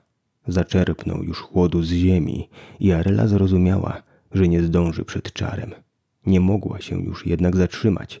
Słup dawał jej jeszcze osłonę, ale sądziła, że Flezar uderzy, gdy wyjdzie na otwartą przestrzeń. Musiała przyjąć sople na tarczę. Jak najwięcej. Gdy wyskoczyła z zasłupa, wyrzucił przed siebie białą jak śnieg rękę. Był tylko trzy kroki od Areli i cały czas się cofał. Ze środka dłoni wytrysnęła przezroczysta wstęga, która rozpadła się na części. Kawałki lodu przecięły ze świstem powietrze, wystrzeliły w jej stronę i rosły, zbliżając się do celu. Uniosła prawe przedramię i osłoniła twarz. Grat pocisków z chrzęstem rozbił się o tarcze, kirys, karwasze i nagolenniki. Otoczyła ją fala mroźnego powietrza, tak zimnego, że błona śluzowa wewnątrz nosa zesztywniała, a oczy zaczęły łzawić. Otworzyła usta i wciągnęła w płuca zimne i pełne drobnego pyłu powietrze.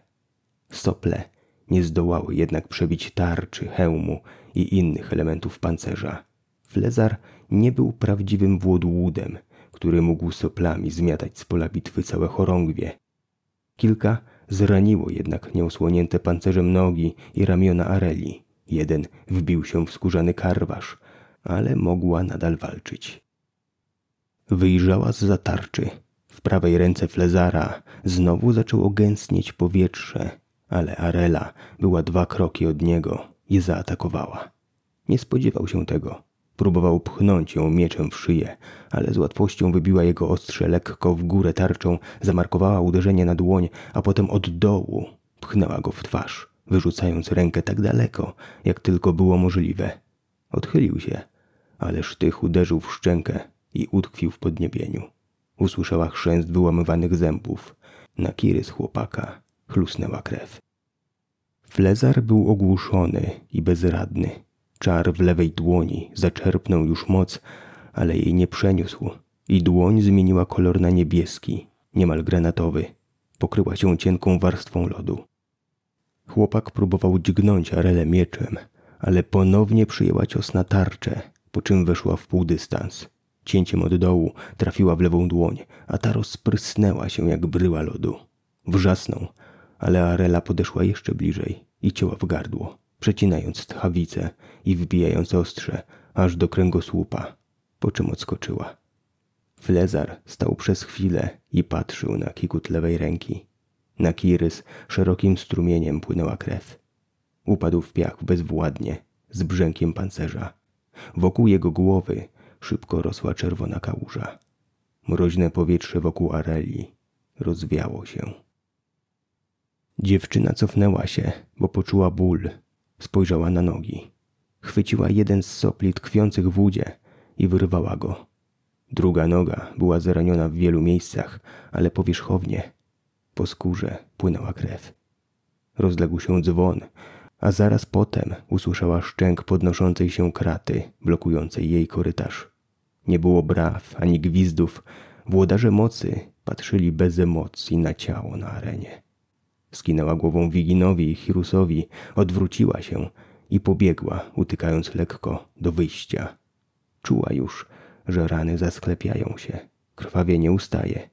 Chciała zdążyć przed tym, gdy ktoś to zauważy. Wygrała. Zabiła człowieka i wygrała. Nie czuła żalu. Ona albo on. Wybór był prosty. Uważaj, Arela, i obserwuj ich, szepnął Hirus, nachylając się do ucha swojej uczennicy. Będziesz walczyć ze zwycięzcą tego pojedynku. Szukaj ich słabości. Patrz na to, co działa i na to, co zawodzi. Ucz się w trakcie. Twój plan jest jak nitka pajęczyny niesiona przez wiatr. Zmienia się przy każdym podmuchu. Arela skinęła głową. Siedziała na trybunie honorowej między fechmistrzem i wiginem. Pachniało winem, pieczonym mięsem i egzotycznymi przyprawami. Przełknęła ślinę i wyciągnęła rękę w stronę półmiska z kulkami pachnącego słodko mięsa, zawiniętymi w brązowe, kruche ciasto, na tyle małe, że mogła je w całości włożyć do ust. Kiedy dotknęła widelca, Hirus pacnął jej dłoń. Jadłaś kiedyś Joridiso? Zapytał. Nie, odparła zaskoczona. No to nie powinnaś próbować teraz. Uśmiechnął się i przygładził wąsy. To zły dzień na eksperymenty z jedzeniem. Nie ma co sobie robić chłopotów z brzuchem. Opuścił wzrok do wysokości jej talii i próknął ustami. Uśmiechnęła się na to lekko. Dzisiaj, do ostatniej walki wieczorem, jedz kaszę i popijaj wodą. Tak jest najbezpieczniej. Jak wygrasz, to będziesz mogła opychać się Joridiso co wieczór do końca życia. Ja zresztą też. Arela westchnęła i oderwała wzrok od stołu. Postanowiła nic nie jeść. Wiedziała, że głód przejdzie, a będzie lżejsza i szybsza. Rozejrzała się ostrożnie po trybunach. Wigin nie rozpiął wokół siebie żadnej sfery ochronnej. Nie rozstawił nawet wokół najemników. Był tylko z Hirusem i Arelą oraz dwoma usługującymi mu chłopcami. Mimo, że protegowani ośmiu włodarzy mocy już przegrali i zginęli, to żaden z ich protektorów nie opuścił turnieju. Nadal oglądali walki i czekali na finał. Arela przyjrzała im się uważnie. Niewielu było ubranych w powłóczyste szaty i tylko jeden miał długą brodę. Reszta wyglądała jak książęta lub bogaci mieszczanie. Znajdowały się wśród nich również dwie kobiety z północnych krain. Jedna z nich, włodarz mocy wiatru, była tak piękna, że Areli stanęły łzy w oczach. Zawsze tak reagowała na kobiecą urodę. Między wyspami włodarzy kręcili się bezszelestnie bladzi chłopcy ze służby. Byli skoncentrowani na każdym ruchu i kroku. Uważni tak, jakby kropla rozlanego wina mogła kosztować ich życie. Donosili z kuchni najlepszy napitek i jadło. Ubrano ich w habity, jak chłopców ze szkoły protegowanych, ale białe i nowe oraz bardziej eleganckie, bo z czerwonymi obramówkami na rękawach i kołnierzach. Nie rozpoznała jednak żadnej twarzy. Podrapała się po łydce, która była owinięta białą, poplamioną krwią szmatą. Wszystkie rany zagoiły się, ale Hirus uparł się, by wysmarować je świńską krwią. Miał ciągle nadzieję, że nikt nie dostrzegł jej amagiczności i Arela zdoła nią zaskoczyć następnego oponenta. Już są, szepnął, wskazując na arenę. Arela najpierw ich usłyszała. Chrzęścili trącymi o siebie elementami zbroi płytowej. Szli powoli, obaj uzbrojeni w długie miecze, ale bez tarczy. Znowu wojownicy, znający po jednym z zaklęć wykorzystujących moc swojego włodarza. Znała ich dobrze, dzięki szpiegom Wigina. A Rochin posługiwał się długim kordem. Szpiedzy nie dostarczyli informacji o tym, czy używał mocy, ale podkreślali, że był głównie wojownikiem. Nie byli pewni, czy władał mocą, ale jeżeli tak, to miała ona zapewne charakter defensywny lub wspierający.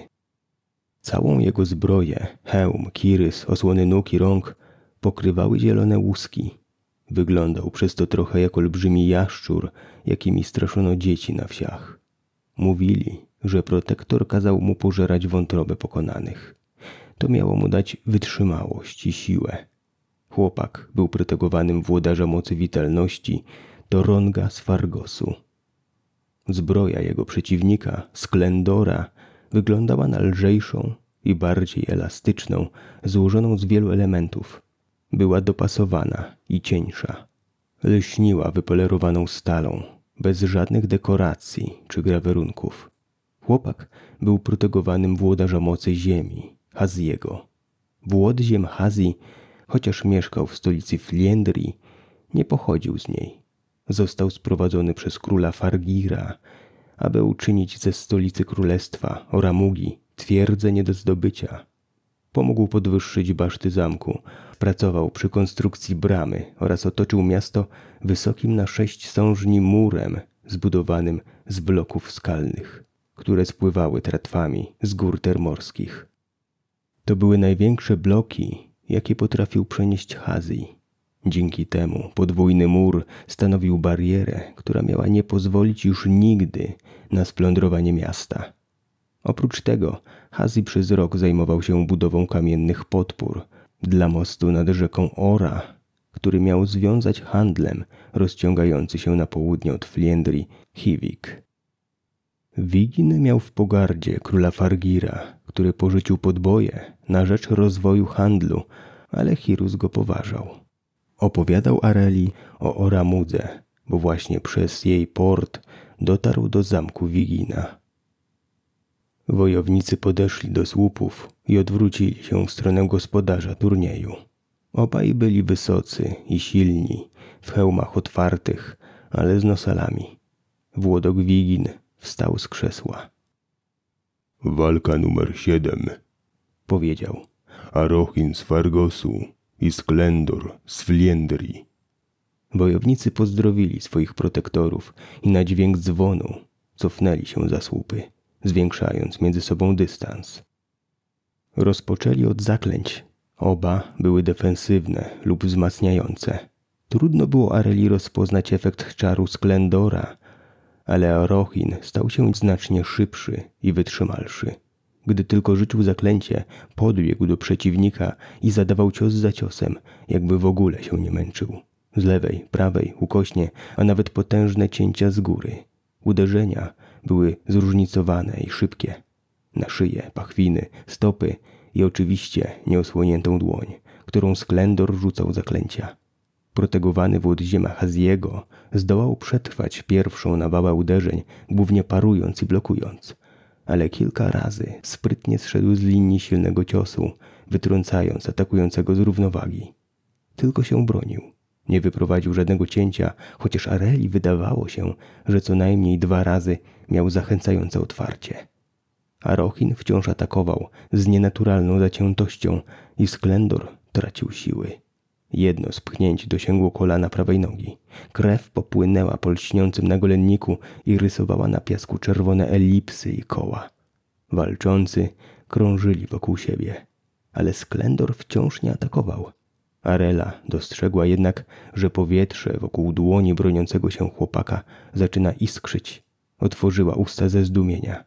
Nie wiedziała, że to możliwe, by przygotowywać zaklęcie i jednocześnie walczyć mieczem.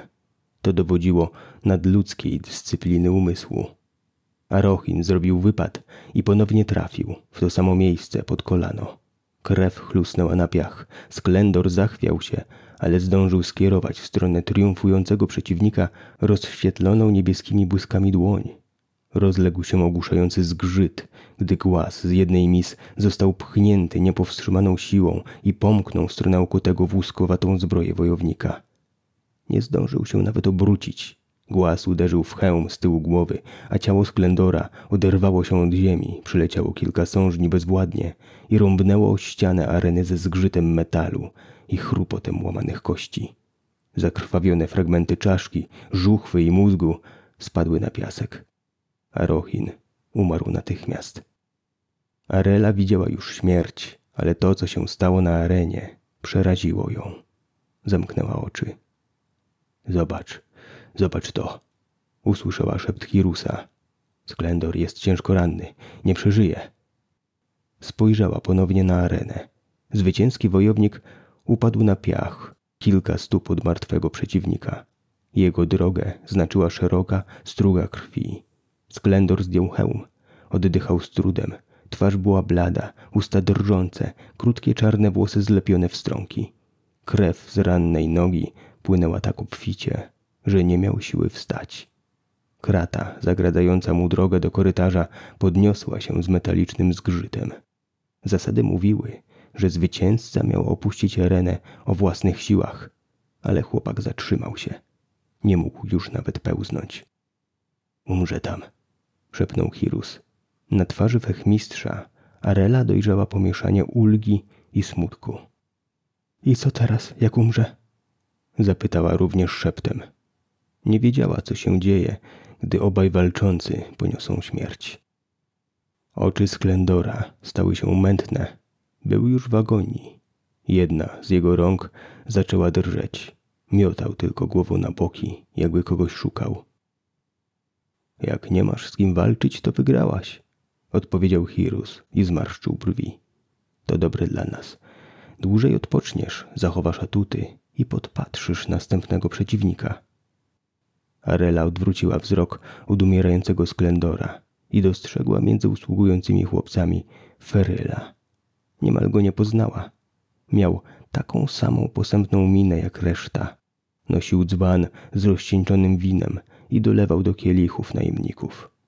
Nie patrzył w stronę Areli, ale była przekonana, że był tu z jej powodu. Może byli też inni protegowani, ale nie rozpoznawała żadnej twarzy. Feryl musiał mieć nadal nadzieję, że Arela dotrze do finału i przegra. Gdy stanęła na arenie przed kolejnym przeciwnikiem, poczuła strach. Nie obawę czy niepokój, ale strach. Jej oponentem był Jahar, protegowany włodarza mocy ognia, Fludera. Jego obawiała się najbardziej. Chłopak umiał czerpać moc, ale na walkę z Arelą wyszedł w pełnej zbroi, jak wojownik. Z czernionego pancerza w wielu miejscach, szczególnie na barkach i kolanach, wystawały szpikulce o różnym kształcie. Przyłbice przyozdobiono trzema złotymi rogami. Zbroja posiadała o wiele więcej elementów ruchomych niż te używane w Fliendrii i na południu. Znajdowały się na niej pierścienie wzmacniające nity i pręty. Widziała taką tylko na rysunkach, które pokazywał Hirus. Wiedziała jednak, że słabe punkty powinny być tam, gdzie zawsze. Pachwiny, pachy, staw łokciowy i kolanowy, szyja i twarz. Jahar był wysoki, ale mało imponującej postury. Na polu walki poruszał się szybko i precyzyjnie uderzał. Walczył długim mieczem i osłaniał się trójkątną tarczą. Posiadał też szczegółowe informacje o swoich przeciwnikach. Obu pokonał szybko i odnosząc jedynie drobne obrażenia. Dobierał doskonale taktykę walki i eksploatował słabości przeciwnika. Walczył podobnie jak Arela, ale był silniejszy i z łatwością czerpał ogień. Dłoń, z której kierował moc, jedynie czerwieniała, ale wydawał się wypuszczać z niej płomienie na tyle sprawnie, by tkanka nie uległa uszkodzeniom.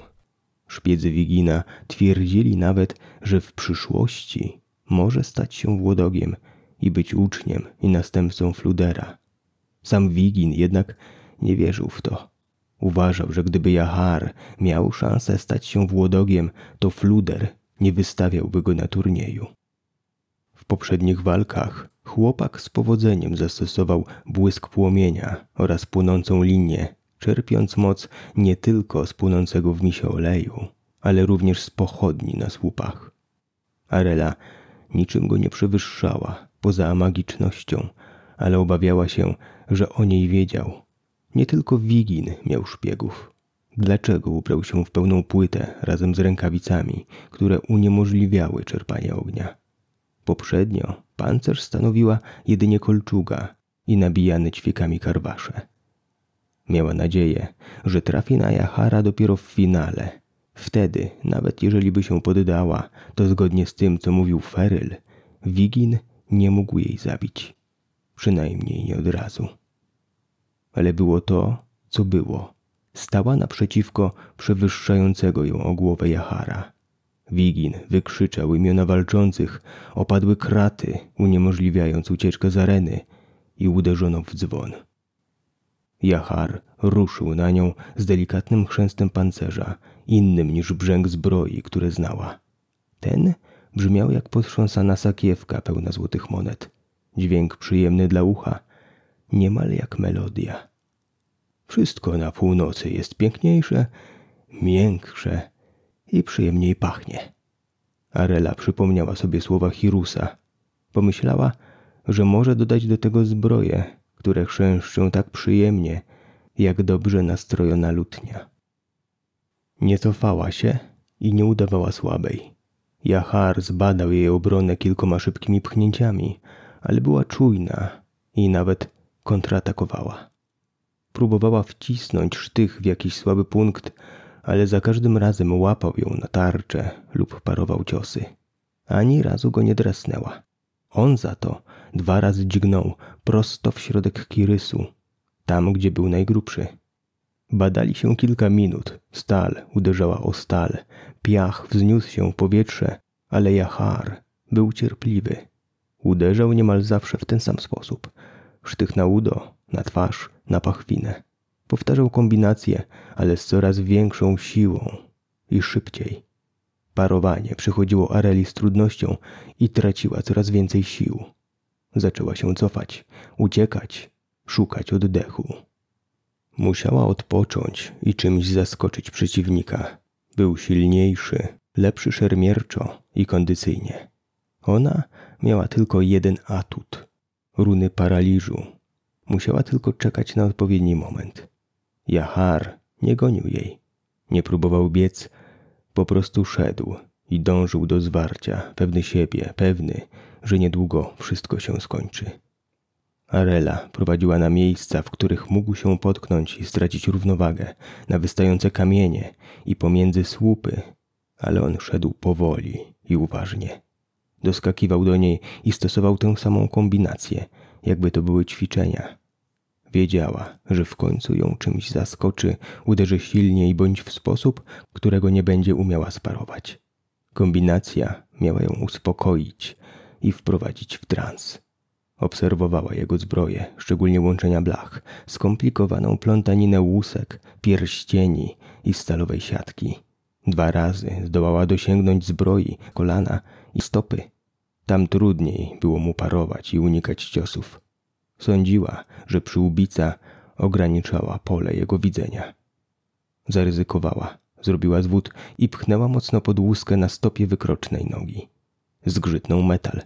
Łuska wygięła się, ale Arela nie przebiła się, by zranić Jahara. Znalazła jednak słabość. Powtarzała uderzenia w stopę, bo dostrzegła, że ją cofa, jakby czuł dyskomfort i za czwartym razem uszkodziła któryś z mechanizmów pancernego buta. Nie odginał się tak jak powinien i utrudniał Jacharowi poruszanie. Przestał używać nogi jako wykrocznej i wytrąciło go to z równowagi. Kilka ciosów Areli dosięgło też pachwin i przyłbicy. Były słabe, ale dodały jej wiary. Ona odkryła jego słabość, a on wciąż nie mógł znaleźć nic na nią. Był przewidywalny jak słaby tancerz i dawno wykorzystałaby tę powtarzalność, gdyby nie jego zasięg i szybkość. Wiedziała jednak, że w końcu to się zmieni.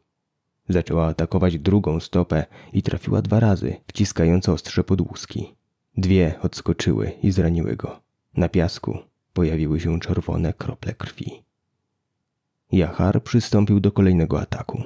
Spodziewała się tej samej kombinacji, ale tym razem zachował się inaczej. Wiedziała, że chciał ją przyzwyczaić do swoich cięć i to wykorzystać. Wiedziała, że to nastąpi, ale i tak ją zaskoczył. Musiał obserwować jej oczy. W tamtej chwili była nieco rozkojarzona krwią na piasku. Wykorzystał to. Wykonał trzy pchnięcia, te same co kilkadziesiąt razy wcześniej, ale po tym, jak odskoczyła, naparł na nią, uderzając tarczą. Zdążyła się osłonić swoją tarczą, przewróciła się na piach i natychmiast przetoczyła zwinnie dwa razy, zwiększając dystans. Była pewna, że Jahar skoczy i przybije ją mieczem do ziemi, ale nie zbliżył się do niej, tylko wbił go w piach, oparł tarczę o biodro i pozbył się pancernych rękawic. Kiedy płomień nad płonącym olejem zgasł, a w dłoni zaczęła mu rosnąć czerwona, świetlista kula, zrozumiała, że to była jej szansa. Jednak nie wiedział o jej magiczności albo w nią nie wierzył. Gdy podniosła się na nogi, słyszała już furkot pędzących płomieni. Uniosła tarczę, chroniąc głowę przed bezpośrednim trafieniem, ale ogień owinął się wokół niej jak siatka. Ból eksplodował na całym ciele, ale nie przewróciła się. Przed oczami błysnęło oślepiające światło, które zamieniło się w pulsującą czerwień. Poczuła swąd palących się włosów i pieczenie topiącej się skóry. Nic nie widziała oprócz płomieni, ale rzuciła tarczę i płonąc jak pochodnia pobiegła na oślep przed siebie. Otworzyła oczy trzy kroki przed Jacharem. Ten wystawił miecz, by wbić go jej w gardło. Myślał, że jest w agonii, ślepa i oszalała bólem. Nie mógł wiedzieć o jej amagiczności, bo pchnąłby mądrzej, tak, żeby nie mogła sparować. On jednak trzymał miecz prosto i czekał, aż sama się na niego nadzieje. Nie zachował ostrożności.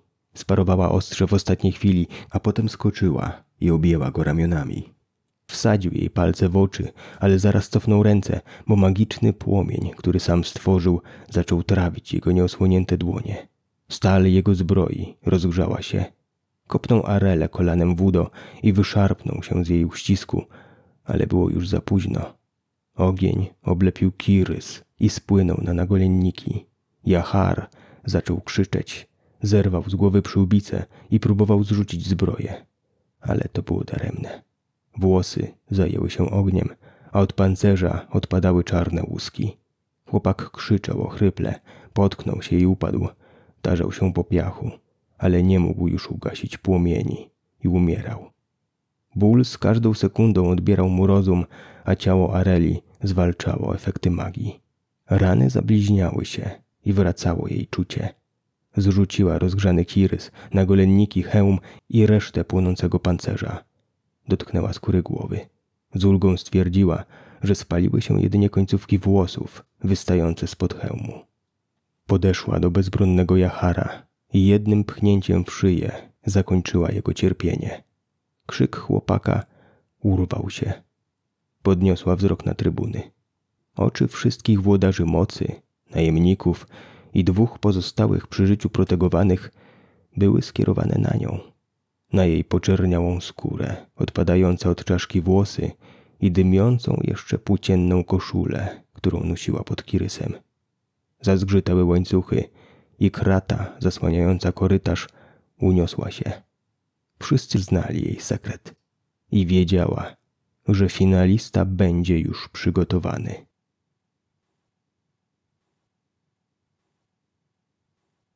Arela nie chciała patrzeć na drugi półfinał. Leżała w swojej komnacie na łóżku i odpoczywała.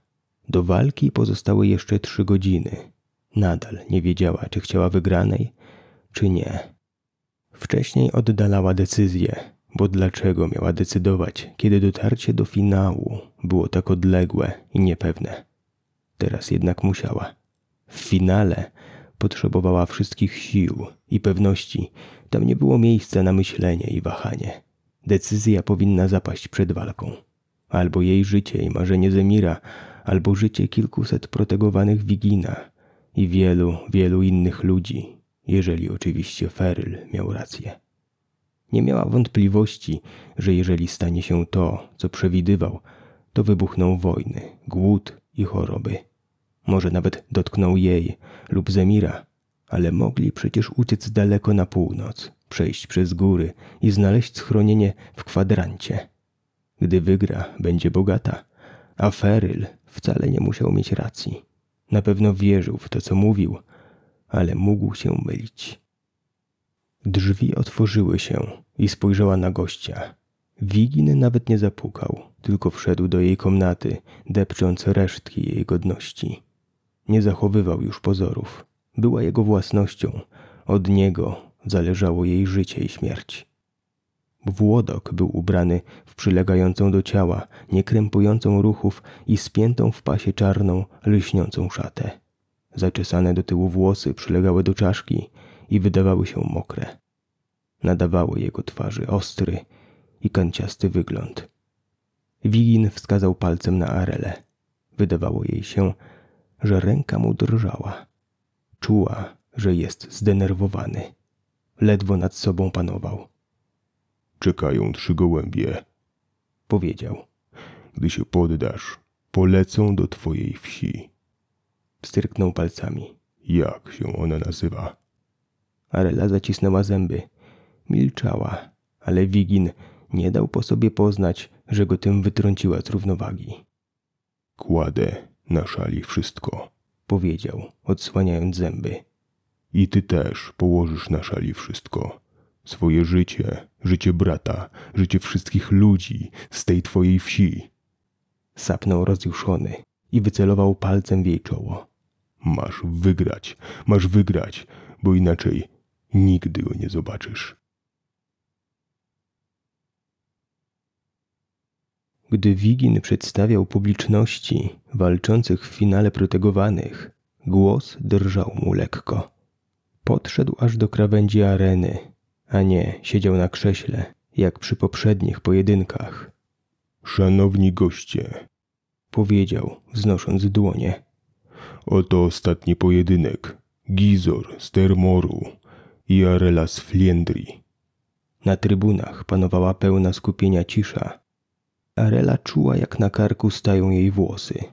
Miała wrażenie, że coś kąsa ją w skórę. Wszystkie oczy włodarzy skierowane były na nią. Czy o tym mówił Feryl? Czy oni wszyscy byli przeciwko niej? Spojrzała na przeciwnika. Był wysoki i masywny, w pełnej płycie. Znała słabości i zalety pancerza przeciwnika. To była dobrej jakości zbroja, o ostrych kątach i smukła. Nie nosił przyłbisy, tylko hełm z szerokim nosalem. Wydawało jej się, że w pancerzu chroniącym stawy ramienne pozostawiono większą odległość między płytami, by dać mu więcej swobody w posługiwaniu się mieczem. Używał broni dwuręcznej i miał dzięki temu przewagę w dystansie. Szpiedzy dostarczyli o Gizorze wielu informacji. Niemal na pewno nie był wyszkolony przez swego protektora Włodowa Gladona w czerpaniu mocy. Możliwe, że był w części amagiczny i dlatego ćwiczył jedynie fechtunek. Był silny, wytrzymały, zwinny i szybki. Gdyby napotkała go w pierwszym pojedynku, przegrałaby na pewno, ale Gizor w drodze do finału odniósł rany. Wszystkie od żywiołów, bo na miecze nikt nie mógł go nawet drasnąć. W pierwszej walce musiał przebiec przez chmurę kwasu. Zabił przeciwnika w półtorej minuty, ale na pewno duże połacie skóry uległy poparzeniu.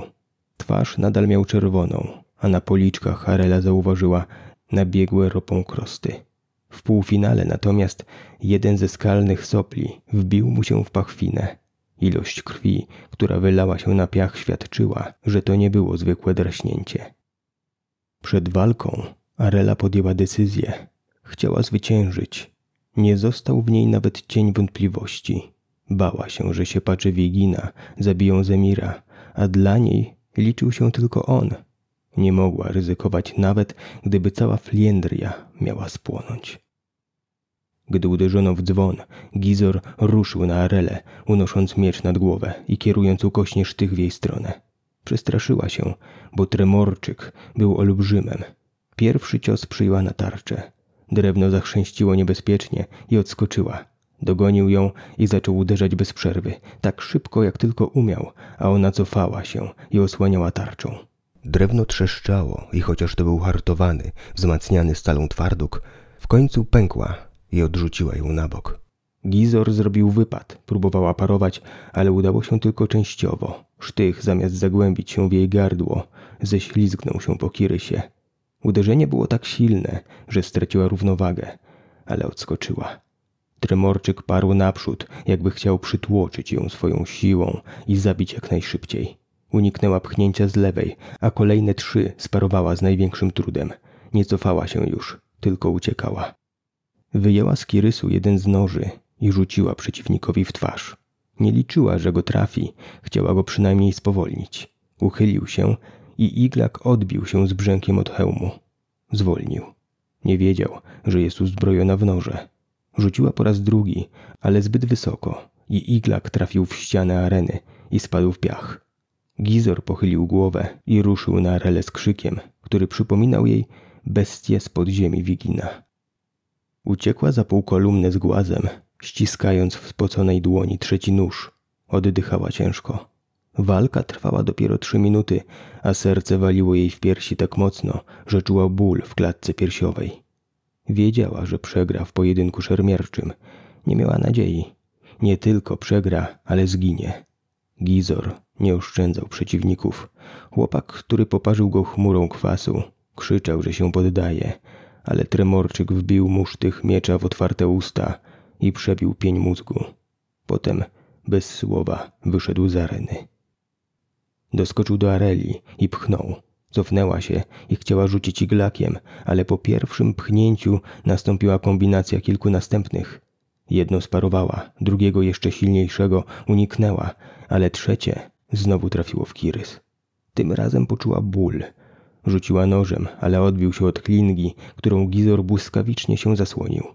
Pomyślała, że jego refleks musiał być spowodowany wsparciem piętnastu włodarzy, z których każdy był teraz przeciwko Wiginowi i przeciwko niej.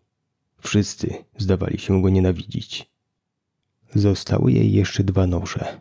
Odwróciła się do przeciwnika plecami i podbiegła do słupów na środku areny. Usłyszała chrzęst zbroi. Gonił ją. Odwróciła się tuż przed słupem. Chciała go tym zaskoczyć i udało się, bo sądził, że będzie się chciała schować. Był jedynie trzy kroki od niej, twarz odsłonięta. Rzuciła nożem, ale trafiła w nosal. Iglak z brzękiem odbił się i upadł w piach, a Gizor przyspieszył i uderzył w nią barkiem. Próbowała wcisnąć gdzieś sztych miecza, ale tak ustawił ciało, że broń ześlizgnęła się po blasze. Poleciała do tyłu, zamroczona, zahaczyła jedną ręką o słup, runęła na ziemię, przetoczyła się dwa razy, a miecz wypadł jej z dłoni i z brzękiem uderzył o kamienie. W powietrze wzbił się piach i pył. Miała go w ustach, oczach i nosie. Gdy próbowała się podnieść, nadludzki ciężar przyszpilił ją do ziemi. Pancerny but Gizora stanął na jej klatce piersiowej. Chłopak wzniósł miecz. Wala! krzyknęła, plując piachem. Wala! Zobaczyła, jak odsłania zęby w zwierzęcym uśmiechu. Lubił zabijać. Nie było nadziei. Uniosła dłonie odruchowo, by się zasłonić i zamknęła oczy przekonana, że wszystko zakończy się za chwilę. Ale zamiast odbierającego jej życie pchnięcia, poczuła, że ciężar z piersi znika. Otworzyła oczy. Gizor patrzył na nią, mrugając powiekami. Opuścił miecz. Rozpoznała te oczy. Tak samo patrzył na nią Gregor, młody terminator, na którym użyła runy powabu. Gizor może jej nie pokochał, ale nagle zwątpił, czy chce zabijać, czy może pozwolić jej żyć. Nagle na trybunach rozległy się krzyki.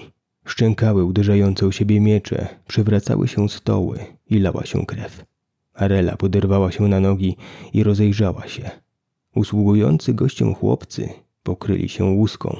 Nie taką, jaką miał Feryl, bezbarwną i ledwo widoczną, ale czerwoną bądź żółtą. Zdjęli ze stołów szpikulce do mięsa i noże. Dzięki smoczej idei, wymieszanej w ich żyłach z ideą człowieka, mogli przechodzić przez przezroczyste sfery chroniące gości Wigina, jakby przebijali błonę pęcherza. Energia spopielała jedynie ich habity i buty z lekkiej skóry i rozgrzewała do czerwoności noże. Większość włodarzy była tak zaskoczona, że nie była w stanie się bronić. Przed krzesłem Wigina podłoga zapadła się i buchnął z niej wielki płomień płynącego oleju. Arela zrozumiała, że zaplanował ten mord. Może to był od początku jego plan i zaatakowałby bez względu na to, jak zakończyłaby się finałowa walka. Zaczerpnął mocy i białym, palącym wszystko płomieniem wyeliminował jedynego na trybunach Włodoga Fludera z Kotosji. Ogień był tak potężny, że nawet Arela poczuła podmuch gorącego powietrza. Zrozumiała, jaką strategię obrał Wigin. Jedynie połowa włodarzy mocy była w stanie zaczerpnąć swego żywiołu i użyć go ofensywnie. To na nich skupiali się smoczy ludzie. Ataki na włodwodów i włodwitów których moc była z natury defensywna, były mniej zażarte. Ci z gości, którzy mogli, zaczerpnęli jednak mocy i ją wykorzystali. Wielki blok skalny, wyrwany ze ściany na trybunach, uderzył o podłogę, wprawiając wszystko wokół w drżenie i przetoczył się przez salę, roztrącając meble i łamiąc z hukiem jedną z kolumn podtrzymujących strop. Miażdżył i zabijał wszystko, co napotkał na swojej drodze. Uderzył w kilkanaście hybryd Wigina walczących z najemnikami i zepchnął je na arenę. Arela z Gizorem uskoczyli niemal w ostatniej chwili. Głaz spadł w miejscu, gdzie stali, wzbijając kurz. Odbił się od jednego z wbitych w ziemię twardukowych słupów i rąbnął z ogłuszającym hukiem w ścianę. Arela poczuła przenikający przez kości pisk, a w lewym uchu pojawiła się krew. Posypały się cegły, skalny pył i kamienie. Dziewczyna rozejrzała się po arenie. Nie miała gdzie uciekać. Kraty były wciąż opuszczone, a ściany zbyt wysokie i gładkie, by się po nich wspiąć. Patrzyła bezsilnie, załzawionymi od pyłu i dymu oczami, na rzeź na trybunach. Zbrojni najemnicy, chroniący swoich włodarzy mocy, bronili się skutecznie, ale hybryd Wigina, ukrytych w ciałach małych chłopców, było zbyt wiele. Łuska chroniła je przed ostrzem jak najlepszy pancerz. Zbrojni byli w stanie rozbić im czaszkę, pogruchotać żebra, ale nie mogli jej przebić. Następne hybrydy cały czas wbiegały przez wejście dla służby i były już uzbrojone w krótkie miecze i kusze. Smocza idea miała w ich ciałach przewagę. Niektórzy mieli szpony zamiast palców, inni uzbrojone w kolce ogony lub podłużne gadzie głowy z wielkimi jak ostrza sztyletów zębami. Nad Włodiatrą Serdem, Zului, pojawił się powietrzny wir, tak silny, że ciśnięty na salę porwał w powietrze stoły i krzesła. Talerze, półmiski, sztućce oraz jadło, pył i wszystkie drobne przedmioty wraz z odciętymi kończynami i wypuszczoną z rąk bronią świsnęły gwałtownie, poderwane w górę. Deszcz szkła, tynku i odłamków skał spadł na walczących. Wigin dostrzegł skąd pochodzi zagrożenie i z jego rąk wystrzeliła kula ognia. Serd pchnął wiatr w stronę, z której nadlatywała i zdołał ją odepchnąć od siebie. Uderzyła w ścianę kilka kroków obok, paląc po drodze hybrydy i walczących z nimi najemników, zostawiając na podłodze czarny ślad ognia, a w powietrzu gryzący w oczy dym. Drugą kulę też udało mu się odsunąć, ale trzecia trafiła i objęła go ogniem. Trąba powietrzna zniknęła, zanim jednak spod sufitu pospadały meble, rozbijając się o kamienną posadzkę, miażdżąc karki i gruchocząc kości, rozległ się huk walących się kamieni. Włodziem Karanis tym razem pchnął na dziedziniec zamkowy kamienną ścianę, tworząc dla walczących w zasadce włodarzy mocy drogę ucieczki. Kilku natychmiast zaczęło się wycofywać w tamtym kierunku, ale przez wyrwę na salę wlali się uzbrojeni w ciężkie pawęże najemnicy Wigina. Z pomiędzy nich świsnęły bełty i poleciały włócznie, zabijając zbrojnych chroniących swoich włodarzy, ale także hybrydy Wigina. Włodłód Krasas postawił lodowy mur, ale to było zbyt mało, by powstrzymać napór atakujących. Bełty zafurkotały i podziurawiły kierysy chroniących go od drugiej strony wojowników. Krasa ścisnął lodowymi soplami, które zmiotły kilka hybryd, a nawet zdołały przebić ich łuskowatą skórę, ale kilku wtargnęło na jego wyspę i zadźgali go zwykłymi nożami. Arela i Gizor patrzyli bezsilnie na walkę na trybunach. Chronili się za twardukową kolumną, by uniknąć spadających kamieni, ciał i kawałków pogruchotanych stołów oraz krzeseł. Nagle Arela usłyszała zgrzyt metalu. Krata, którą wyszła na arenę, uniosła się. Dostrzegła przy jej mechanizmie feryla. Uniósł ją jedynie na dwa łokcie, po czym zeskoczył na arenę i trzymanym w ręku mieczem zablokował, by nie opadła. Arela podbiegła do uniesionej kraty. Gizor również zaczął biec. Był nadal pod wpływem runy powabu. Gdy zostało jej kilkanaście kroków do feryla, usłyszała świst i szum płomieni. Od strony trybuny honorowej nadlatywała kula ognia. Zdołała uskoczyć i magiczny pocisk uderzył w podłogę tuż za gizorem. W powietrze wytrysnęły kamienie, piach stopił się w jednej chwili i zabulgotał jak magma. Okuty w stalowy pancerz tremorczyk zapłonął. Całe ciało oblepiła mu paląca się smoła. Arela odwróciła się i dostrzegła Wigina, w którego rękach rosła kolejna kula ognia. Poderwała się do biegu. Tuż przed kratą upadła na ziemię i przytoczyła się pod nią do korytarza. Spojrzała na arenę, podnosząc się na nogi. Gizor oszalał z bólu. Odrzucił miecz, zdarł pancerne rękawice i krzyczał. Jego twarz była krwisto-czerwona, z wieloma czarnymi plamami martwej spalonej tkanki. Upadł na kolana, ale spadający blat olbrzymiego dębowego stołu uderzył go z ogromną siłą w bark, gruchocząc kręgosłup. Upadł bezwładnie w piach. Wigin nie zdążył rzucić kolejnej kuli. Feryl podbiegł do Areli i pchnął ją głębiej do korytarza. Stalowa krata spadła za nimi z ogłuszającym hukiem, wzbijając tumany kurzu. Do stajni, po konia! krzyknął. Musisz uciekać. Wyprzedził ją, rzucił sandały i biegł boso. Jego stopy pokryły się przezroczystą łuską. Opuścili korytarz i znaleźli się w niewielkiej sali, w której zawodnicy przygotowywali się do walki. Feryl nie poprowadził jej jednak do kolejnego korytarza, ale otworzył obite żelazem drzwi, które były dla Areli zawsze zamknięte. Pobiegli między workami z piaskiem, beczkami i pryzmami usypanymi z drobnych kamieni. Zrozumiała, że to pomieszczenia, w których trzymano narzędzia i materiały, by uprzątnąć arenę po każdej walce. Wybiegli na dziedziniec, w sam środek szalejącej bitwy. Budynki szkoły protegowanych stały w płomieniach. Kamienne bloki wielkości wołu zawaliły dach jadalni i warsztatów płatnerskich. Porywisty wiatr rozwiewał na wszystkie strony czarny dym lub przyduszał go do ziemi, tak że walczącym mu zawiły oczy i nie widzieli sztychu wysuniętego przed siebie miecza. Wszędzie rozlegały się krzyki, brzęk zwierającej się stali, kwik koni i gruchot walących się kamieni. Arela nie wiedziała, co robić. Od stajni oddzielał ją tłum walczących. Najemnicy Wigina starli się z siłami innych włodarzy. Nie zdołali zamknąć bramy i wlewała się przez nią konnica nieprzyjaciela. Feryl pociągnął Arelę za rękę wzdłuż muru. Szli ostrożnie, rozglądając się wokół. Widziała tylko kłęby czarnego, duszącego dymu, od którego łzawiły oczy i drapało gardło. Ale Feryl, dzięki zmoczym zmysłom, wiedział, gdzie iść i skąd nadchodzi niebezpieczeństwo. Zbliżali się do stajni za koszarami najemników. Były zbudowane z kamienia, z półokrągłym sklepieniem i nie zawaliły się od fragmentów baszty, która runęła na mur i przedmurze. Najemnicy zaproszonych na turniej włodarzy mocy walczyli ze smoczymi ludźmi i żołnierzami Wigina. Tych ostatnich było znacząco mniej. Szturmujący przez otwartą bramę konni wypychali ich coraz głębiej na dziedziniec – Rozlegały się wrzaski dziesiętników i fargowskie przekleństwa, by utrzymać szyk, ale na nic to się zdało. Broniący Karlochinan ginęli od lanc i długich mieczy.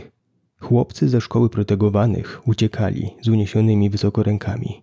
Większość najemników przepuszczała ich, by mogli przejść przez most zwodzony i znaleźć schronienie w lesie, ale niektórzy zabijali bez litości. Kilkudziesięciu bezbronnych chłopców, jeszcze dzieci, stało na murach i zaczęło skakać do fosy, chcąc uniknąć losu swoich braci, tratowanych przez konie i gniecionych przez pancerne buty. Feryl ukrył się za relą za kamiennym poidłem dla koni. Musimy poczekać, krzyknął zdyszany, bo ci najemnicy nas zabiją. Jest ich zbyt wielu. Nie mogę czekać. Arela próbowała ruszyć w stronę stajni, ale Feryl zatrzymał ją i przydusił do ziemi. Był o wiele silniejszy niż myślała. Nagle rozległ się huk. W drugą z frontowych baszt uderzył kamienny blok, ale jedynie się od niej odbił. Na dziedziniec spadły skalne odłamki i kamienie. Arela pomyślała, że któryś z łodziemów musiał uciec z trybun i chciał zabić najemników Wigina strzelających z kurz i dziesiątkujących szarżującą konnicę. Puść mnie! Krzyknęła Arela, próbując zrzucić z siebie Feryla. Szamotali się przez chwilę, ale zdołała wstać. Patrz tam! krzyknął i wskazał ścianę starego zamku, do której atakujący przycisnęli najemników Wigina. Zostało ich już tylko kilkudziesięciu. Z trzech stron oblewała ich konnica i nadciągająca już piechota wroga z obozów rozbitych za murami. I wtedy część skały tworzącej stary piramidalny rdzeń zamku zniknęła a zamiast niej pojawiły się otwarte wrota. Arela poczuła w żołądku lód, a gardło ścisnęło jej się boleśnie. Stwór pojawił się na dziedzińcu w pełnym biegu. Nabił na kolec najbliższego najemnika Wigina, przebijając się przez pancerz na plecach i gruchocząc kręgosłup, a potem wbiegł pomiędzy atakujących. Przerażone konie stanęły dęba. Bestia zatrzymała się, szarpnęła głową, i rozerwała wiszącego na kolcu martwego żołnierza na pół. Po chwili pojawiły się następne, mokre od śluzu stwory.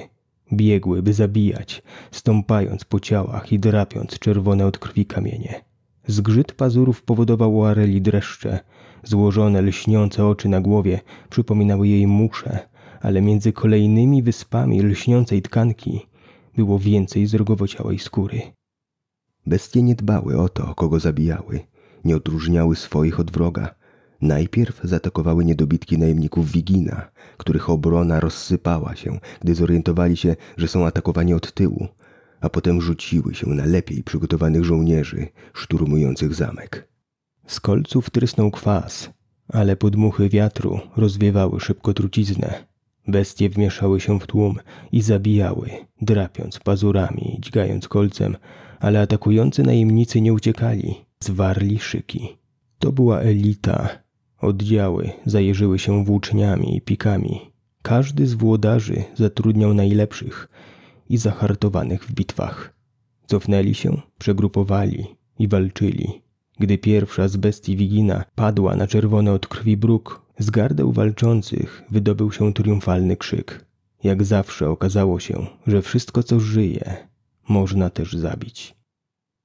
Do stajni! krzyknęła Arela i szarpnęła Feryla. Wzdłuż muru!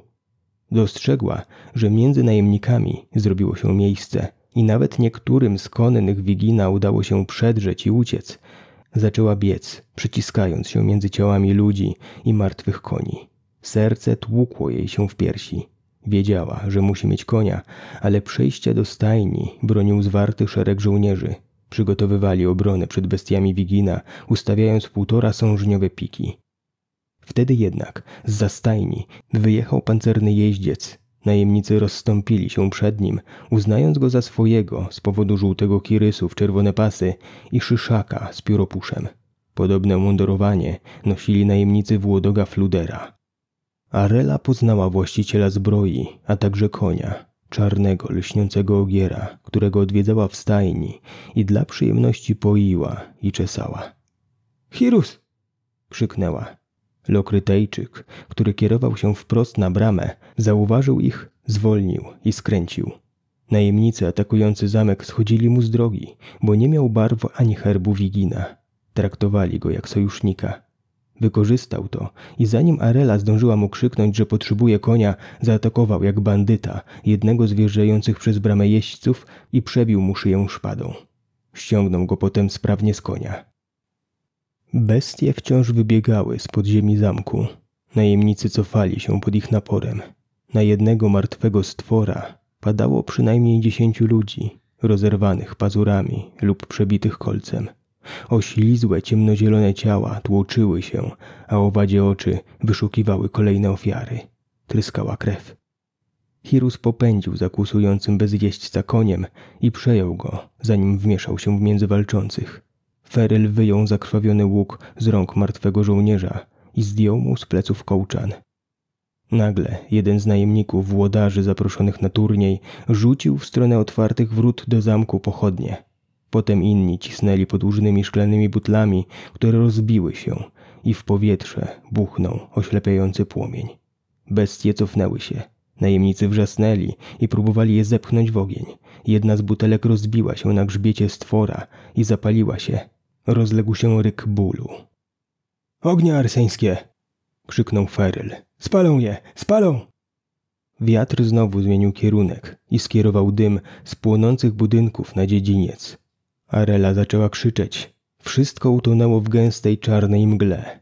Nie było widać już walczących. Słyszała tylko szczęk broni, padających zakutych w zbroje żołnierzy i skowyt zabijanych bestii. Hirus jednak pojawił się przy nich z przytroczonymi do guli na siodle lejcami zdobycznego konia. Arela podbiegła do zwierzęcia, wcisnęła stopę w strzemie i zgrabnie wskoczyła mu na grzbiet. Koń był wystraszony. Parskał, kulił uszy i drżał na całym ciele. Poklepała go, uspokajająco po szyi. Podała ramię Ferylowi, który usiadł za nią i objął ją ramionami, splatając palce dłoni na jej brzuchu. Za mną! krzyknął Hirus i podał Areli lejce. Skierował swojego ogiera w stronę bramy i ścisnął kolanami. Arela spięła swojego konia i ruszyła kłusem, lawirując między ciałami zabitych. Nikt ich nie zatrzymywał. Przejechali przez most i przeszli w galop. Wyjechali na pusty trakt i po kilku minutach zagłębili się w las. Musieli zwolnić. Wichura połamała wiele gałęzi i leżały teraz na drodze. Arela zrównała się z Hirusem. Uciekasz? Zapytała. Nie, odparł, łyskając białymi zębami i przygładzając palcem wąsy do policzków. Na twarzy miał pot, krew i brud. Arela zdała sobie sprawę, że nigdy nie widziała, że ma brudną twarz. Widocznie musiał walczyć, by uciec z trybun. I nie było to proste. Oddalam się, młoda damo. Wino było tak podłe, że myślałem o tym już pierwszego dnia. To dlaczego nie oddaliłeś się pierwszego dnia? Złoto potrafi przekonać żołądek, moja droga. A ty co planujesz teraz? Wigin chce zabić mojego brata. Hirus zmarszczył brwi. Rzadko widziała na jego twarzy gniew, ale rozpoznawała go bez trudu. I jeszcze dzieciobójca. Pokręcił głową z odrazą i splunął na bok. Szkoda, że go nie zabiłem, gdy miałem szansę. Dojechali na rozstaje dróg. Jeden szlak prowadził przez las na południe, a drugi na zachód. Feryl, powiedziała Arela, odwracając się do chłopca. Jadę ratować mojego brata. Wigin ma tam trzech ludzi. Mają go zabić. Pomogę ci. I tak nie mam gdzie iść. A inni? Twoi przyjaciele? Nie chcesz ich poprowadzić? Pokręcił smutną głową. Widziałaś, co się stało. Ci, co przeżyli, każdy musi teraz uciekać sam. Ja nie jestem ich przywódcą. Ode mnie poznali tylko prawdę. Muszą sobie radzić. Są wolni. Ja chcę tobie pomóc. Będziesz potrzebowała pomocy. Ich jest trzech. Trzech się paczy, wysłał na dziecko. Wtrącił się Hirus. Tak mówił. Pokiwała głową. Coś w głosie Hirusa sprawiło, że stanęły jej łzy w oczach. Mówił, że go zabiją, jak przegram, a ja przegrałam. Fechmistrz poruszył nerwowo wąsami. Ścisnął lejce w dłoniach tak mocno, że skóra zatrzeszczała. Czarny ogier parsknął i grzebnął kopytem w piasku. Nie mogę was, dzieci, tam puścić samych, powiedział. A już szczególnie ciebie, młoda damo. Nachylił się do Areli. Jesteś moim uczniem, a mistrzowie muszą dbać o uczniów. Są rzeczy ważne i ważniejsze. Arela jest ważniejsza niż moja wygoda i bezpieczeństwo. No i nie nauczyłem cię przecież, jak się walczy z trzema. To wielka sztuka, a najlepiej pokazać to na przykładzie. Arela chciała podziękować, ale słowa uwięzły jej w gardle. Pociągnęła nosem i ścisnęła kolanami swojego konia. Ruszyła traktem na zachód, najpierw kłusem, a potem galopem. Za nią podążył Hirus. Teraz była pewna, że jeżeli zdążą, to może ocalić Zemira. Dziękuję za wysłuchanie drugiej części powieści A Magiczna. Kolejna część zostanie opublikowana 8 września 2023 roku. Jeżeli się podobało, proszę o lajka, subskrypcję i komentarz. Dajcie też znać o mnie znajomym na społecznościówkach. Pozdrawiam, Bruno Siak.